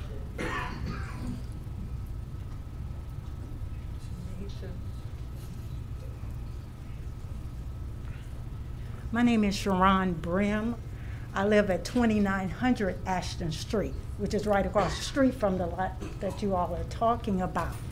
And I am in total disagreement with you all putting a multifamily rezoning there because I am the one that lives across the street. The other people that you live to live down the street around the corner. I would prefer to stay a single family uh, zoning. And then if you want to, like you all have said that you all were talking about doing a single family, but it was better money for you all to do the multifamily. So I think that we still need to go back and to look at our community as a whole. Yes, it is going down because a lot of people came in and bought up the houses, but they don't keep them up. So we already have enough slumlords or whatever uh, people who rent houses out in our neighborhood. We need someone to come in who wants to bring up the neighborhood. I do not want to walk out my door or on the side of my yard and see a multifamily unit across the street from my property. I am a homeowner in Lakeside. So it means a lot to me. My family has been there since it was a lakeside, when they first started building over there. So my family has invested in the community since Lakeside started, and I want to continue to invest in community. I'm fussing with property standards. I'm doing everything I need in my community, but we don't want you to come in with some pretty little houses, some duplexes, some apartments. Come in and give the people the opportunity to become homeowners. What happened to Shreveport with the 235, the 225 projects from years ago that would help people become homeowners? Renters, you can have apartment complex on the outskirts of Lakeside. I'm all for that. I'm not smack in the middle of our community. But once again, I am at 2900 Ashton Street, and it's right across the street from me. Any questions from Ms. Grimm? Oh, I'm sorry. It's Grimm, correct? Brim, B as in boy, R I M. Brim. Brim, thank you, ma'am. Any other uh, uh, people in opposition?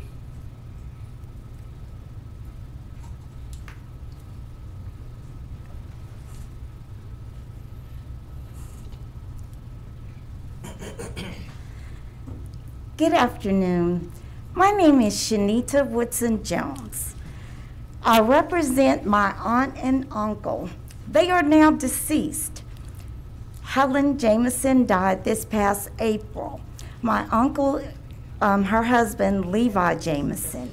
I have spent the last five years there at their house. Mr. Levi Jameson died back in 2008 but they have been homeowners there, I think, since the 1950s.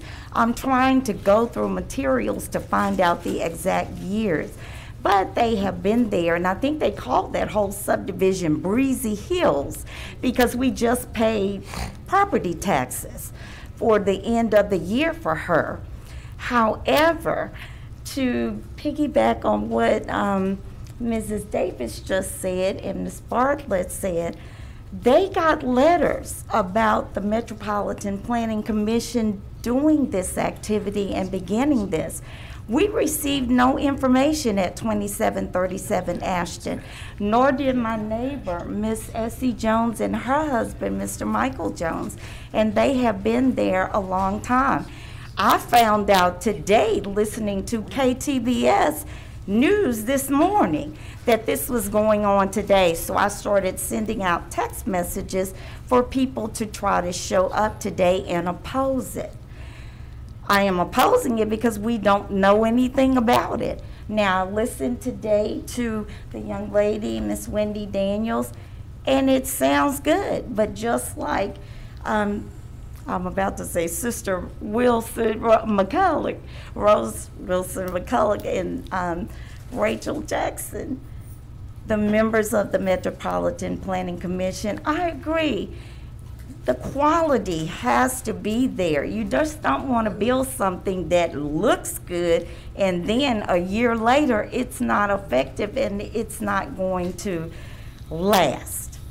And it's not going to be something that brings pride to the community. I attended Notre Dame. I graduated in 1979. I attended Central Free Methodist for daycare and kindergarten. So I have a vested interest. I grew up in Lakeside and, in um, School Park subdivision. I am a physician. I had to retire. In um, 2013, due to an illness, I developed multiple sclerosis. So I have a vested interest in the community. Please don't let these, uh, um, this mixed income community come up or be developed without community input. We are starting off with poor communication. Not all of the streets haven't been involved. All of the neighbors don't know. So everyone, I'm not really sure how the people who got the letters were selected to receive letters. There weren't any signs. I think um, Ms. Bartlett said there was a zoning sign. I haven't seen it. I always exit out on Hearne. Was it out there?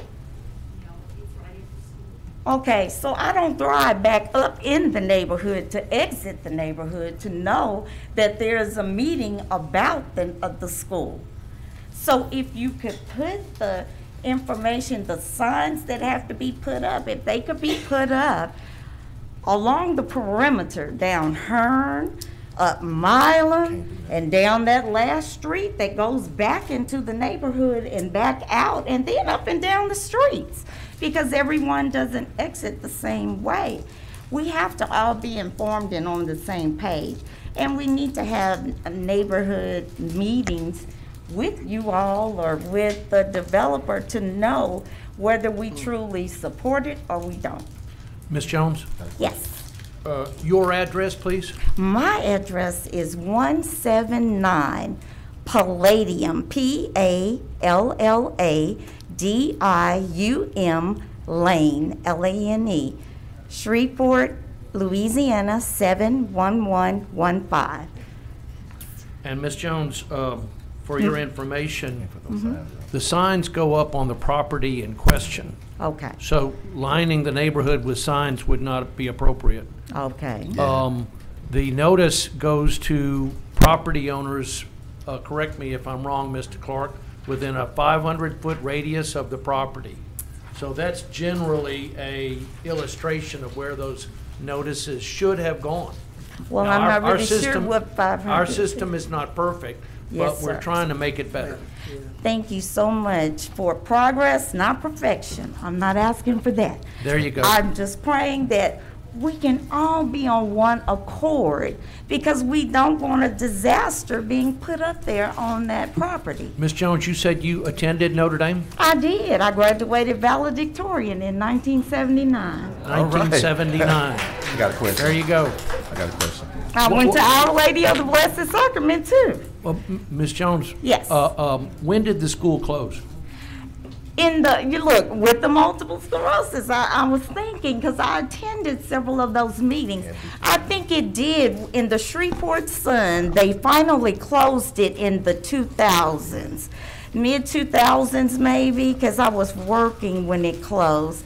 But there, um, remember, it was a school that they transferred everybody from Our Lady of the Blessed Sacrament to that school, and then they would feed into Loyola.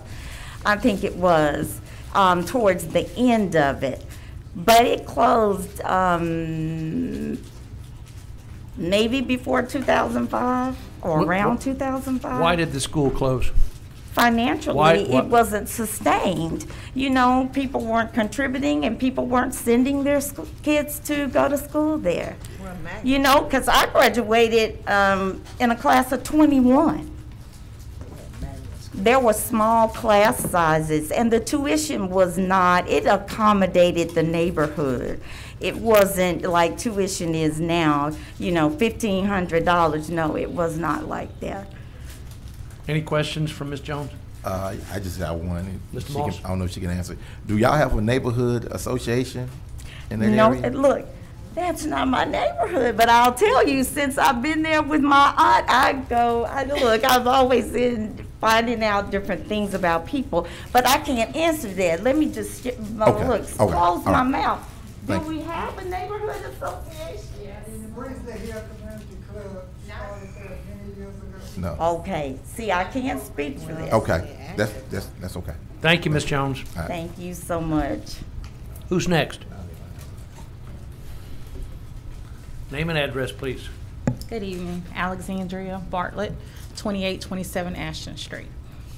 I grew up in Lakeside, and Lakeside was a community where you had single family homes with children. I have a child of my own now, and I don't even feel comfortable with him going outside because the dynamics of the neighborhood has changed. Yes, it is a good idea to develop something new in the community, but not a rental property. You have many children there who do not have a place to go after school. Something needs to be productive for them. What they're seeing in that neighborhood are drugs, sometimes prostitution, and this is because of certain rental properties. I've had to call the police on certain issues on just our street because of drugs. I have got in touch with, tried to get in touch with our councilman about the um, property standards of lots. Nothing has been accomplished. Even with the Blessed Sacrament property, it's all grown up. The, the fence is down. Most of the people that were homeowners in that, in that neighborhood have passed on. Those properties have been given to their family members, or they have been sold to people who don't even live in that neighborhood. That neighborhood has a rich history, and now it is embarrassing to see outsiders come in from different areas that have no intentions of making it better. If you want to make it better, you need to involve the community.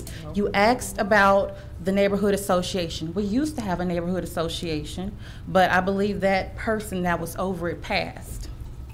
Um, yes, we do need new development, but not rental properties.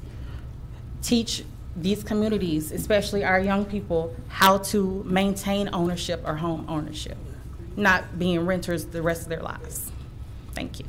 Any questions from Ms. Bartlett? Thank you, ma'am. Thanks.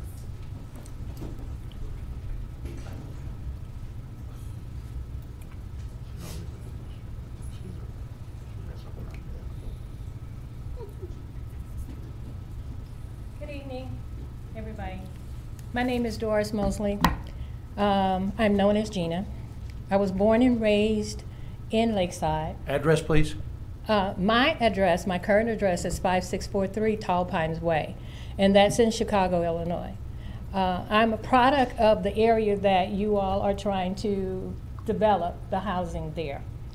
I don't live in the community, but I am still ever present in that community because I still own the properties that my mother and my grandmother left those properties to us, which is 1320 Arkansas, 1324 Arkansas, 2939 Murphy, 2853 Harp Street, and, and there are others. And so I have uh, um a huge interest in that community. When you speak of blight, yes, there's blight, but it's not just vacant lots. Take a ride through there and you will see houses. You see houses that people are still living in in disrepair. You see houses that's been abandoned and it's boarded up. And you see houses that need severe attention to. So when I moved away, I just recently returned here after 51 years. I just recently moved back in 2021. I tried years ago to get into the program where they were talking about revitalizing declining communities. When I called, because in the real estate books, they give you addresses and telephone numbers where you can call to get grant money, individual citizens, residents in Louisiana, where you can get grant money to revitalize a community. However, I was told that monies are distributed. Well, actually, I was told that there's no more money left. So this is the beginning of the fiscal year. How is it that, my question, how is it that money is not there when this is starting where the money should be there? So I was told that is is actually housed and manned by politicians. Okay, so that didn't happen. So I checked into the property myself to buy it on my own. Uh, at the time, it was being sold for like $300,000. I don't know what it is now because I didn't live here at the time, but that's what I was checking into to do it on my own, which is what I would love to see. It's not that I'm so opposed, I am opposed to this project right now, but it's not like I'm so opposed to something new coming into the community. What I do oppose is you got a brand new structure coming into the community, but you've got all of these residents, like uh, some of the uh, residents have said they, a lot of them, my mother, grandmother who was there, I was born and raised there, um, they, they're not there anymore. So it's just a lot of rental. So the rentals are not being kept up. I keep my properties up because I don't want it to be like the blight that everybody is speaking of.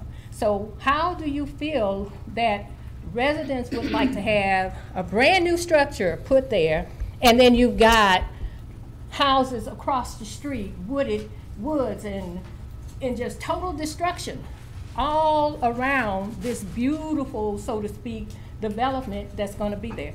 I say that the uh, that whole process of revitalizing a community, let some of the residents that live there. I, the first meeting that was canceled, I was here and I got a chance to speak to one of the residents, and the resident said she tried to get some help. Mr. Chair. She tried to get help to fix up her property, but she can't. So we're taxpayers. So let us use our taxpayers to do something with the blighted houses before we bring in something right smack dab in the middle of something that you've got total devastation and destruction all the way around that community. Any questions for Ms. Mobley? Thank you, ma'am. Thank you.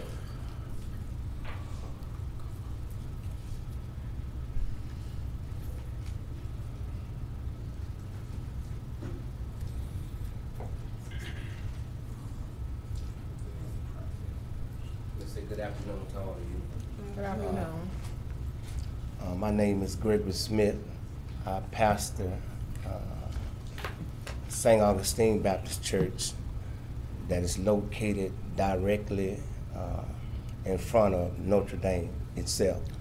And uh, I stand today, and I think this will help all of us and probably solve uh, some of the uh, contention that might be settled in this place I think if we could have, because I know uh, Brother Clark said that on last evening when we spoke in this matter last month, that letters were sent out, and I think he told us that only two people showed up. But today we can sense and see there's more than two people. So I think that if we could come to some type of agreement where we can set up a meeting between the community and the developer, we can, I think we can kill a whole lot of time that we're going here now. Because most people that are coming to the podium want answers that you all cannot give. But I think if we could sit down with the young lady and she can lay out her intentions and these that have concerns about the development, I think we might be able to come to a reasonable understanding and then go forward from there. That's my position. Pastor, what is your address? Uh, my physical address, Your home address? forty-five eighteen Bend Road. 4518 Benton Road, Uh-huh. Bossier City? Uh-huh. And it's Griffin Smith, correct? Gregory, Gregory. Gregory, I'm sorry. uh-huh. St. Augustine Baptist Church? Directly, uh, directly across the street, uh, from the proposed property. Uh-huh. We're going to raise that issue with Ms. Daniels. I think it would, it would, I don't think, I really believe that it would really, uh, give some, some directions to the people that have great concerns, whether they're in opposition or they're supported. At least now you see that the community will come and meet with her, sit with her and talk with her, and she can lay out some things and they can ask her some questions directly, and she can directly answer them instead of coming to the podium asking you guys for information that you can't answer because she has the answer that we need. So if it's possible that that can be scheduled, and I want to thank uh, uh, Councilwoman Taylor uh, for really uh, being a backbone and helping because I had no idea, and I only been the pastor there for about two and a half months now, two and a half months, something like that.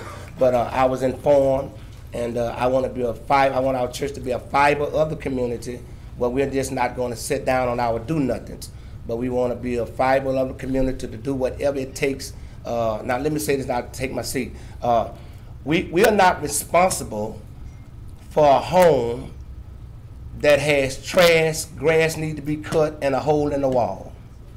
Those people in that home have to be responsible to have some love and care for the community to try to keep it clean. But when it comes to the development that's coming to our community, we, I would just like to sit down with her personally, along with other uh, uh, people of the community, and just let her talk to us as individuals, and we get a chance to hear her. She get a chance to answer questions directly from us, and then we'll have a better understanding uh, about the proposal itself. Can That's you- my conviction. Can you host that meeting? I'll be glad to host it. Do you think it's possible, Pastor, that a development as described by Ms. Daniels could lift up the entire neighborhood? It's a. Po- I'm not gonna say that it's not. It's a possibility that it can, but at the same time, I want others to voice their opinion without me just being the factor that they say that it can. I'm not. I'm not here to kick it. I'm not here to tear it down. I'm not here in opposition. I'm here because I don't know all the information, and so with that, with a lack of information, I can't make the right judgment. I understand. So that's my that's my conviction. Any questions for uh, Pastor Smith? Thank you, sir. Thank you so much. Y'all have a great day. Thank you. Thank you. Anyone else?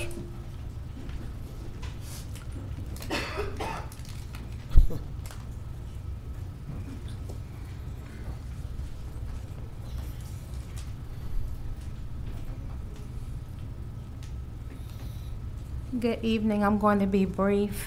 Um, my name is Shalana Moore.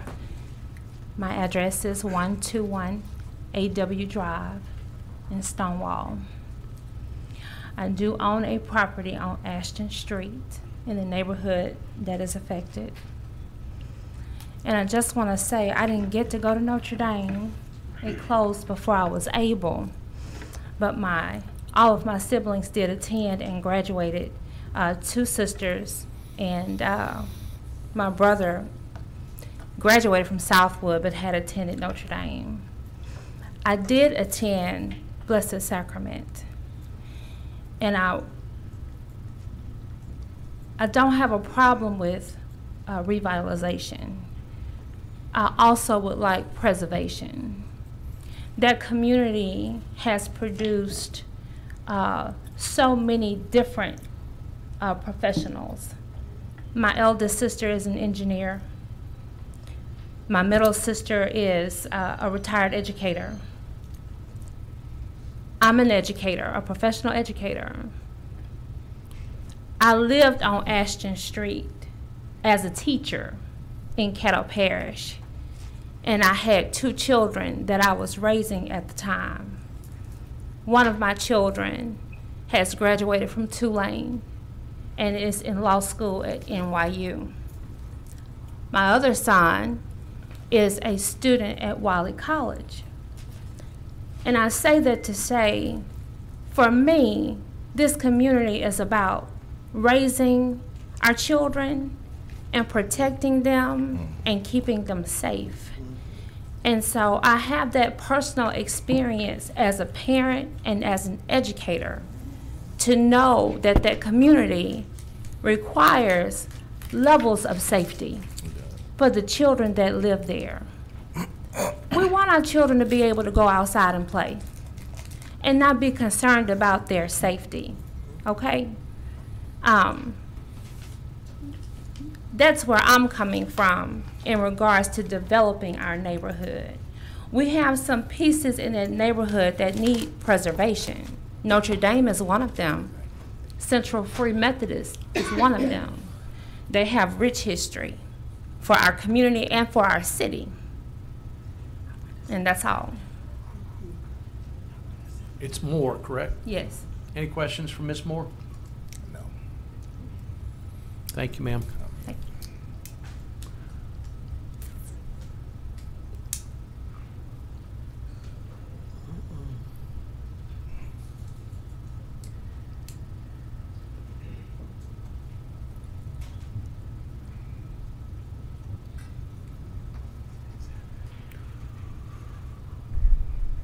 Good afternoon. My name is Jeremiah Coleman. My address is 3111 Looney Street.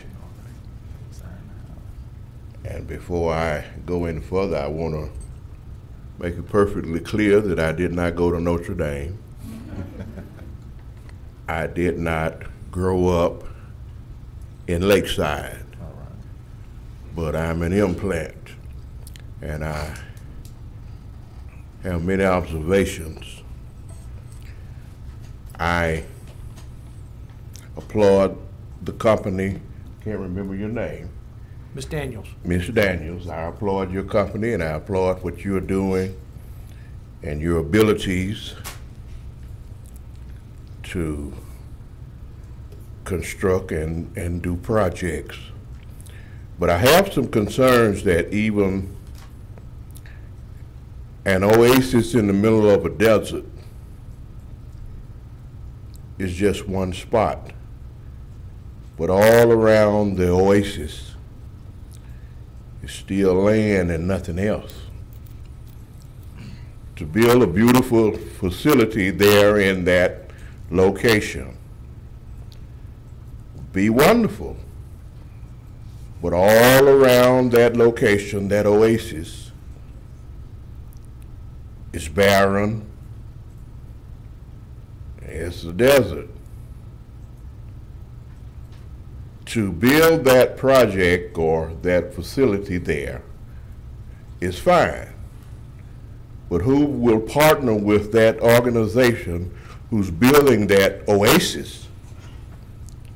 Partner with them and, and, and work with them with the infrastructure, work with them with all of the other properties around. I, I know this meeting is about rezoning, but this is a question to this board, to all that is concerned and all that is involved, uh, just to rezone and if we approve the rezoning, they build this beautiful facility.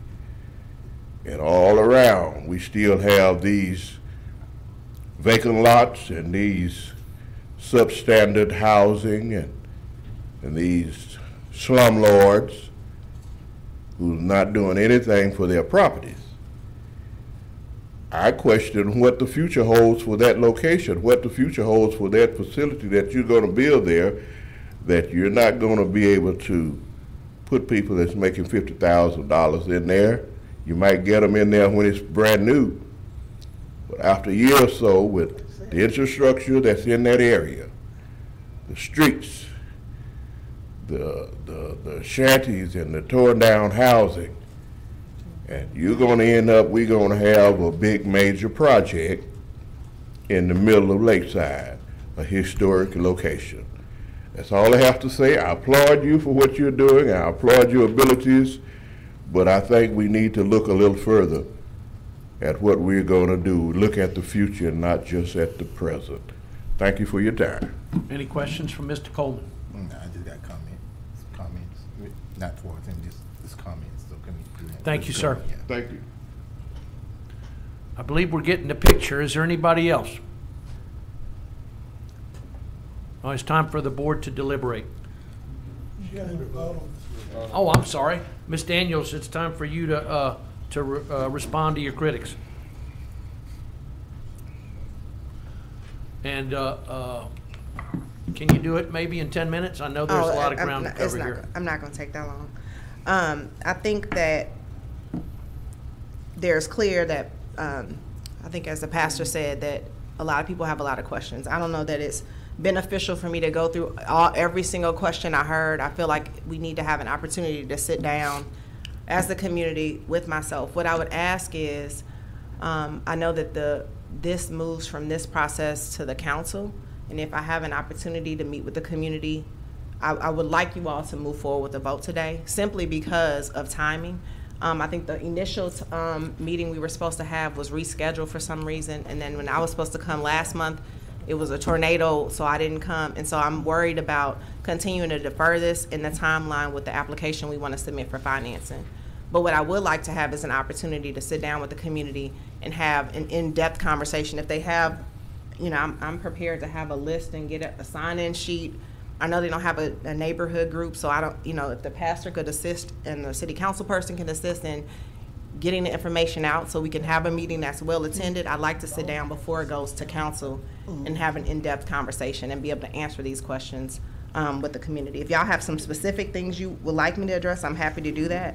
I did take notes on questions that people have, but that, that's essentially my request. And in addition to that, I will say, again, as a condition of the zoning, I don't want to just have one conversation with the community. I, I'm prepared to continue to have ongoing conversations as we move forward with the design process. When we are ready to sit down with the architects and, and, and look at different buildings, somebody said we don't want to have it where you can't tell one house from the other. Those are things that we can have the community's input on, what the actual structures look like. Um, and, I, and the only other thing I will say is, and I, and I know this is a hard conversation. I understand that. I've, I've done this, like I said, for 20 years. I know this is a hard conversation. Um, part of what you find, though, is an individual that's making, let's say, $19,000 a year, where are they supposed to rent housing? Oftentimes, these blighted properties that y'all see is the only property that that family can afford to live in because the slumlords are only charging maybe $500 or $300 a month, so they're living there. But that doesn't mean that the quality of the tenant is always the problem. Sometimes it's literally the quality of the housing. And so I think this, again, is, you know, a $17 million investment in this community that, that could be the seed that needs to be planted so additional people will come in and redevelop some of the single family lots and homeowners are willing to move into the community. But part of the question we have to ask ourselves is, you know, a pharmacy technician that's, that provides our our medication at Walgreens, where does she get to live with her two kids? I mean, it's a real question. And that and part of what we're finding is people are not able to find quality housing. They are rent burdened, which means they're struggling to make decisions on housing and food and medication and things like that. So what we're trying to do is address that need. I know it's hard to do that in somebody's community. We want everybody to be happy with the community that we develop. But every community I've ever developed, it's a waiting list to get in there they, they maintain 100% occupancy long term so so these communities it proves that there is a is a dire need for this type of housing um, and so again i would love to have an opportunity to sit down with everyone i really am sensitive to what y'all's concerns are i really am so i will i will welcome the opportunity um, to meet with the community and, and and try to gain more support Can I ask a question? I heard you say this was rental. Um, what I'm familiar with in dealing with tax credits, um, I remember the term lease to buy, so this is not what you're doing. No. They won't, they, the people were leasing to buy. You had to, you had to lease for five years before you could even start to buy. Um, There are but- different, um, So this, and they were tax credit. they have different options in tax credit communities, and sometimes you, it's point-driven, it's a competitive process. And so there was a time where you would get additional points if you would commit to having lease to purchase properties. But a lot of times what they found is many of those units were never actually purchased by the tenants. S- So I, I've never done a development where it was lease to purchase, um, but that, the, the community you may be responding to was probably being sensitive to whatever the scoring, um, categories were at that particular this is time. not lease to It is buy. not lease to buy. Okay. Uh, Ms. Daniels, who, who will manage the property once it's built? We haven't selected a ma- property management company. I will say it's not the housing authority. The housing authority has nothing to do with this development. So It's- it'll be Beechwood that'll manage. We don't have a property management company. We hire a third-party property management company that will vet um, before. But again, these units won't be established until 2025. So we haven't hired a property management company this early on. And I would assume that they'll be the ones to administer the income issues? No, it's a very steep compliance regulation. I mean, like I said, they have investors that are, um, that have an ownership in the deal that main, that, that require that the compliance is maintained, um, to preserve their, their tax credits. There, there was a question about the low income Mhm. part of the equation. What percentage will be low income? So it depends on what you call low income. So we have a range. Define it for I me. think, say again? Define it for me. Well, I think it's subjective what you consider low income, right? Like if you, so I'm, I'm, I can tell you the different tiers. It's all affordable. It's all um, what we consider affordable housing. Um, she was referencing the percentages and she said, I think her, she said when she added it up, it didn't equal um, 100%. So I can share, it's probably on my computer, but I can share that information with her to tell her to break down. I said five percent of the units were restricted for families at twenty percent. Forty-five percent of the units were restricted for families at thirty-three percent. I mean, I'm sorry, let me go back. Five percent at twenty thousand dollars. Forty-five percent at thirty-three thousand. Thirty percent at forty thousand. And twenty percent at fifty-two thousand. Go through those numbers again, please. Five percent and this is just me simplifying the conversation. like, eh, you know, I can give you the I AMIs appreciate and all that. that. We won't hold you to So five percent for families at twenty thousand dollars or lower, forty-five percent for families at thirty-three thousand dollars or lower, thirty percent at forty thousand dollars, and twenty percent at fifty-two thousand.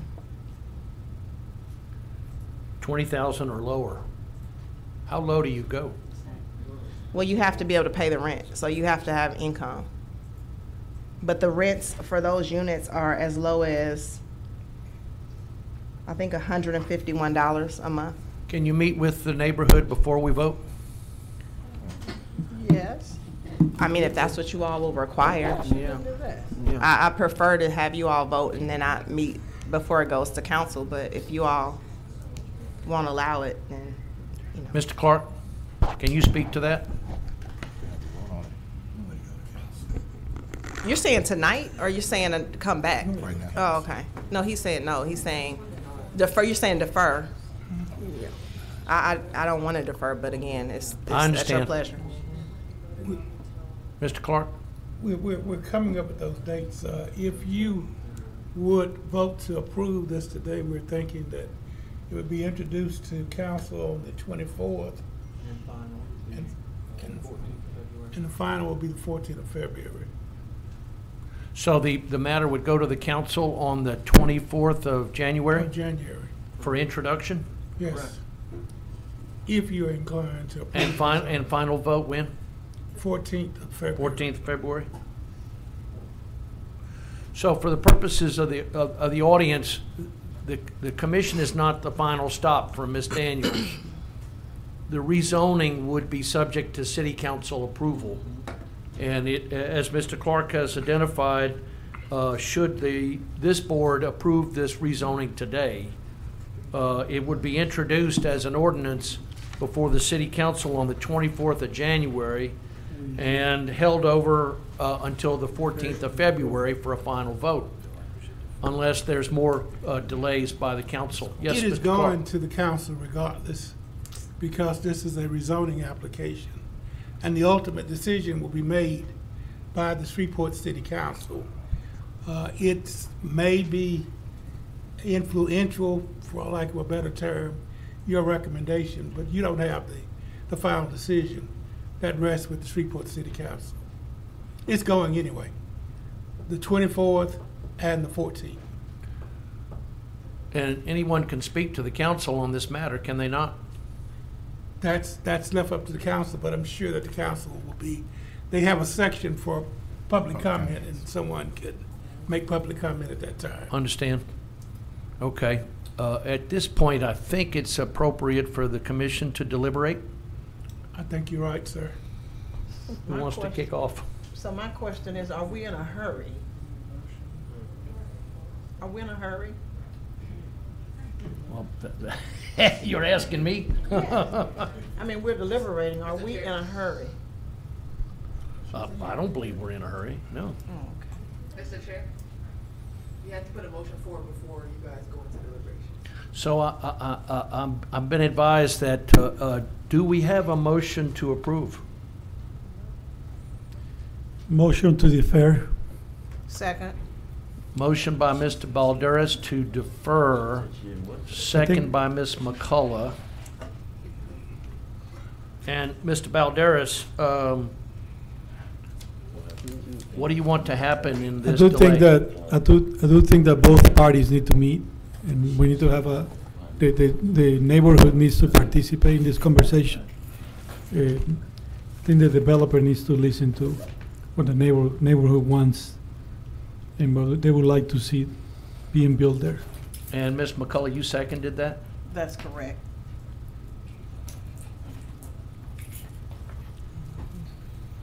Is there any discussion on the motion by Mr. Balderas? He wants to delay this matter until the February meeting? No, I agree with him because there is so much opposition in the, in the audience. And, and it's fair, it's only fair that they know what is going on and it's gonna happen in their community.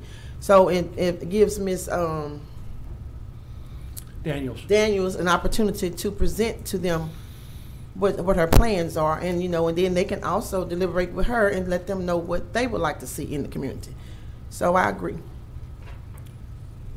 I do think that it takes a village to, to build a business. I do think that the, the comments from the neighbor, neighborhoods will be helpful for you. Mr. Sater? Uh, What does that do to Ms. Daniels deferring in another month? Uh, Ms. Daniels, is this going to kill your project? So the financing that we are applying for is due next month, next week. You don't have to have the zoning approved at the time that you submit the financing, but you do have to include a letter saying that you are in the process of having your property rezoned. Um, The, the application is, is a ten thousand dollar application to submit. I mean, we've spent probably fifty thousand dollars already to date. And so the concern is continuing to spend money if for whatever reason this project will not ultimately, um, move forward, get past council and, and, and, um, I mean, the commission and, and the council. So that was why my request was if you all could deliberate today and still give me time. I think if it has to go to council anyway, it gives me time to meet with the community, continue to have the conversations between now and when the council hears it, since it has to go to them anyway, as Mr. Clark said. So it, it, it, it, you know, it's not ideal, but ultimately, I, I mean, I, it is what it is, depending on what you all decide. You want to Any more comments by board members? We have a motion on the floor to delay this matter. Mr. Elberson? I think there, I'll just back up what uh, Mr. Balderas said. I think there's been some valid points on uh, both sides. Uh, I think there's reason to consider it for multifamily there. I think there's reason to consider uh, that it stay single-family there. Um, I'm excited about this type of investment being made in this community. I think everybody is. Um, But I think that the community needs to embrace the project. Yes. And I- I'm, I'm, I'm convinced that uh, if you get these parties in a room together, that there'll be a positive outcome for the project. That's just my, my, my thought right now and my hope, honestly. So I, I- I'll have to support the, the motion as well to defer.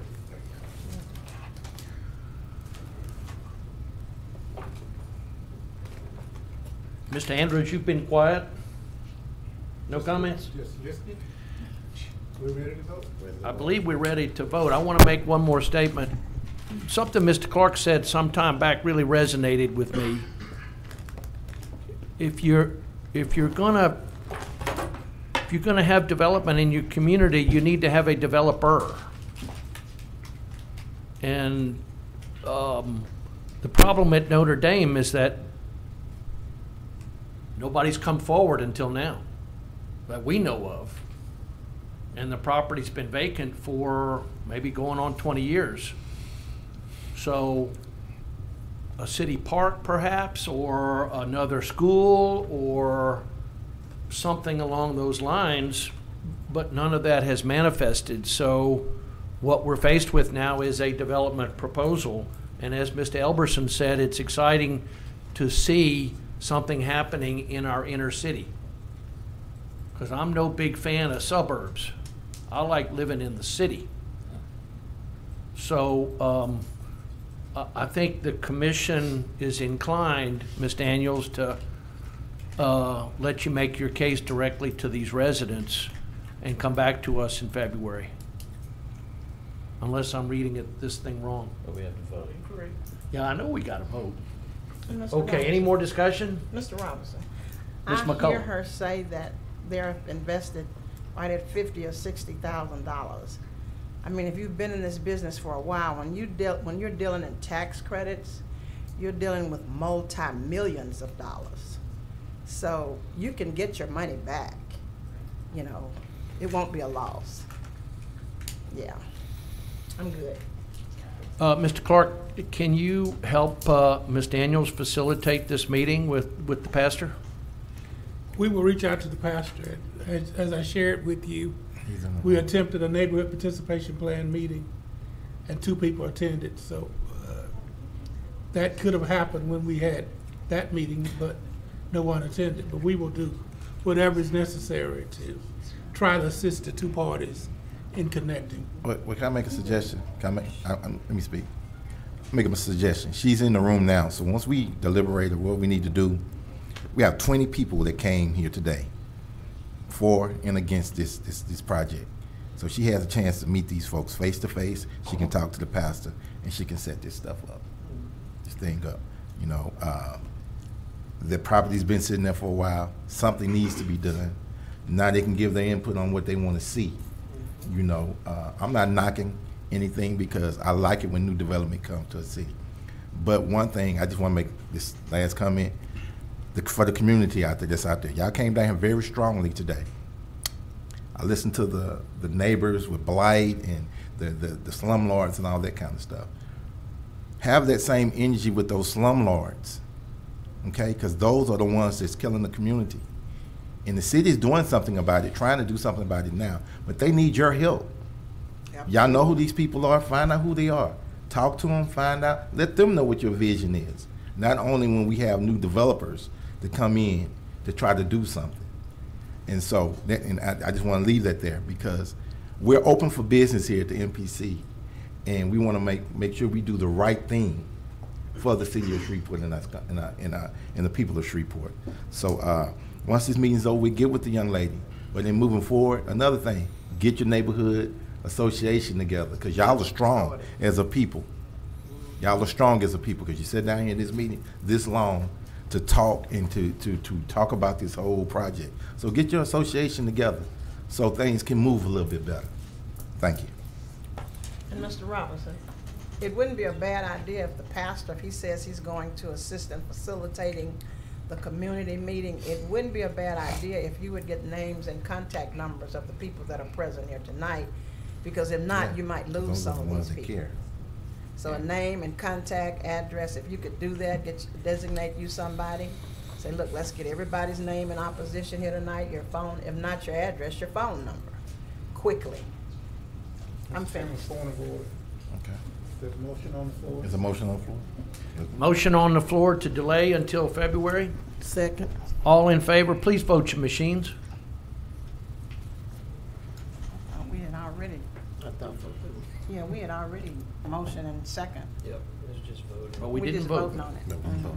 Okay, raise your hand if you're in favor of the delay. Raise your hand if you're opposed to the delay. Okay, it's an eight to one vote. Mr. Andrews in opposition. Thank you all. Thank you, Ms. Daniels. Members of the audience, we appreciate you coming today. I believe uh, I'll entertain a motion to adjourn. No, no, no, no, we got business. Hey, we still got agenda items. Oh, I'm sorry. Speedy Gonzalez? Man, I thought we were done. No, we got old business on the back. Okay, I'm sorry. Happy New Year, y'all. Okay, any old business? I'm open for old business. None. Any new business? Staff has absolutely nothing, Mr. Chair. Mr. Clark? We have nothing to report. Uh, No director's report. Uh, Any public comments? We've heard plenty. I think that was one public comment. Yes, sir. You have the floor.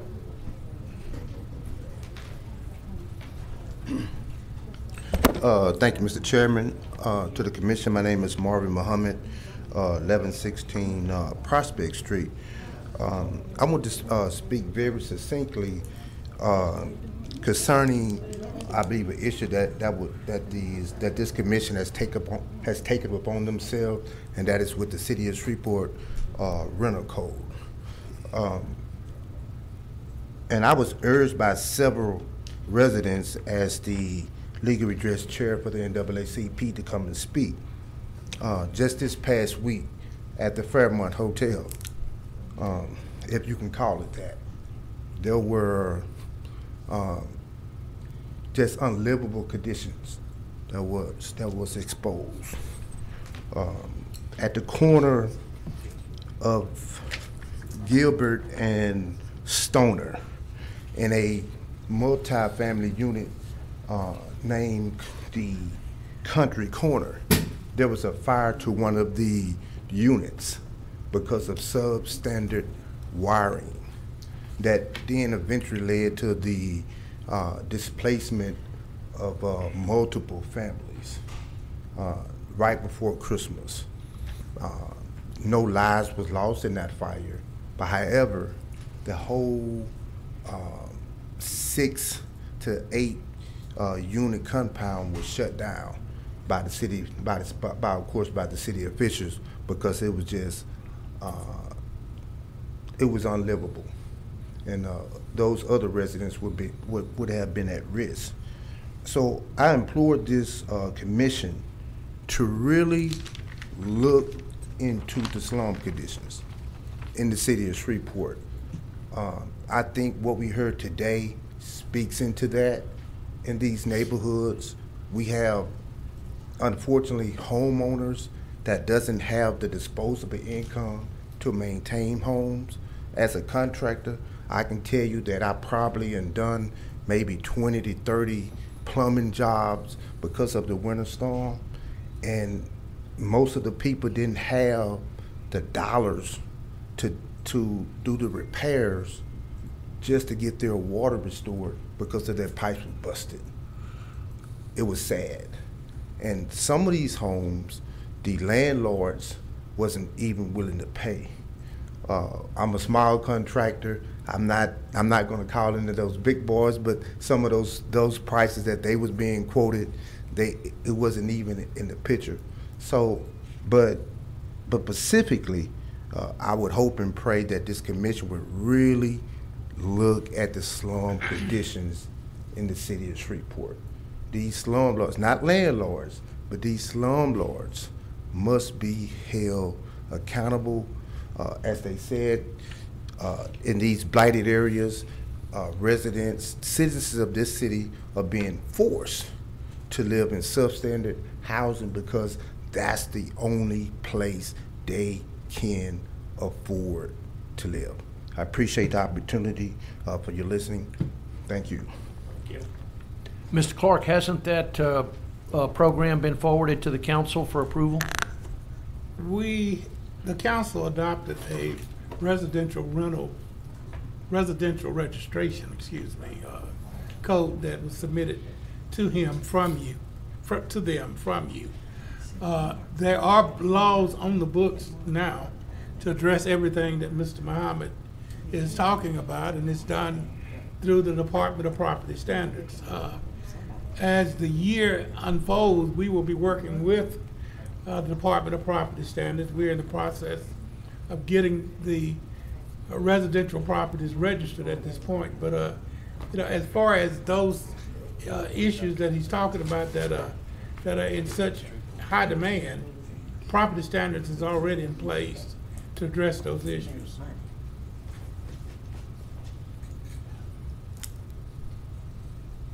Okay.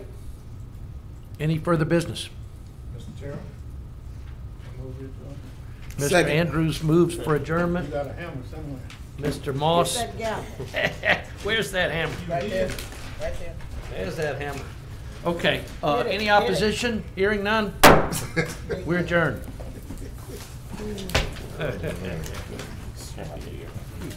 Trying to keep them straight.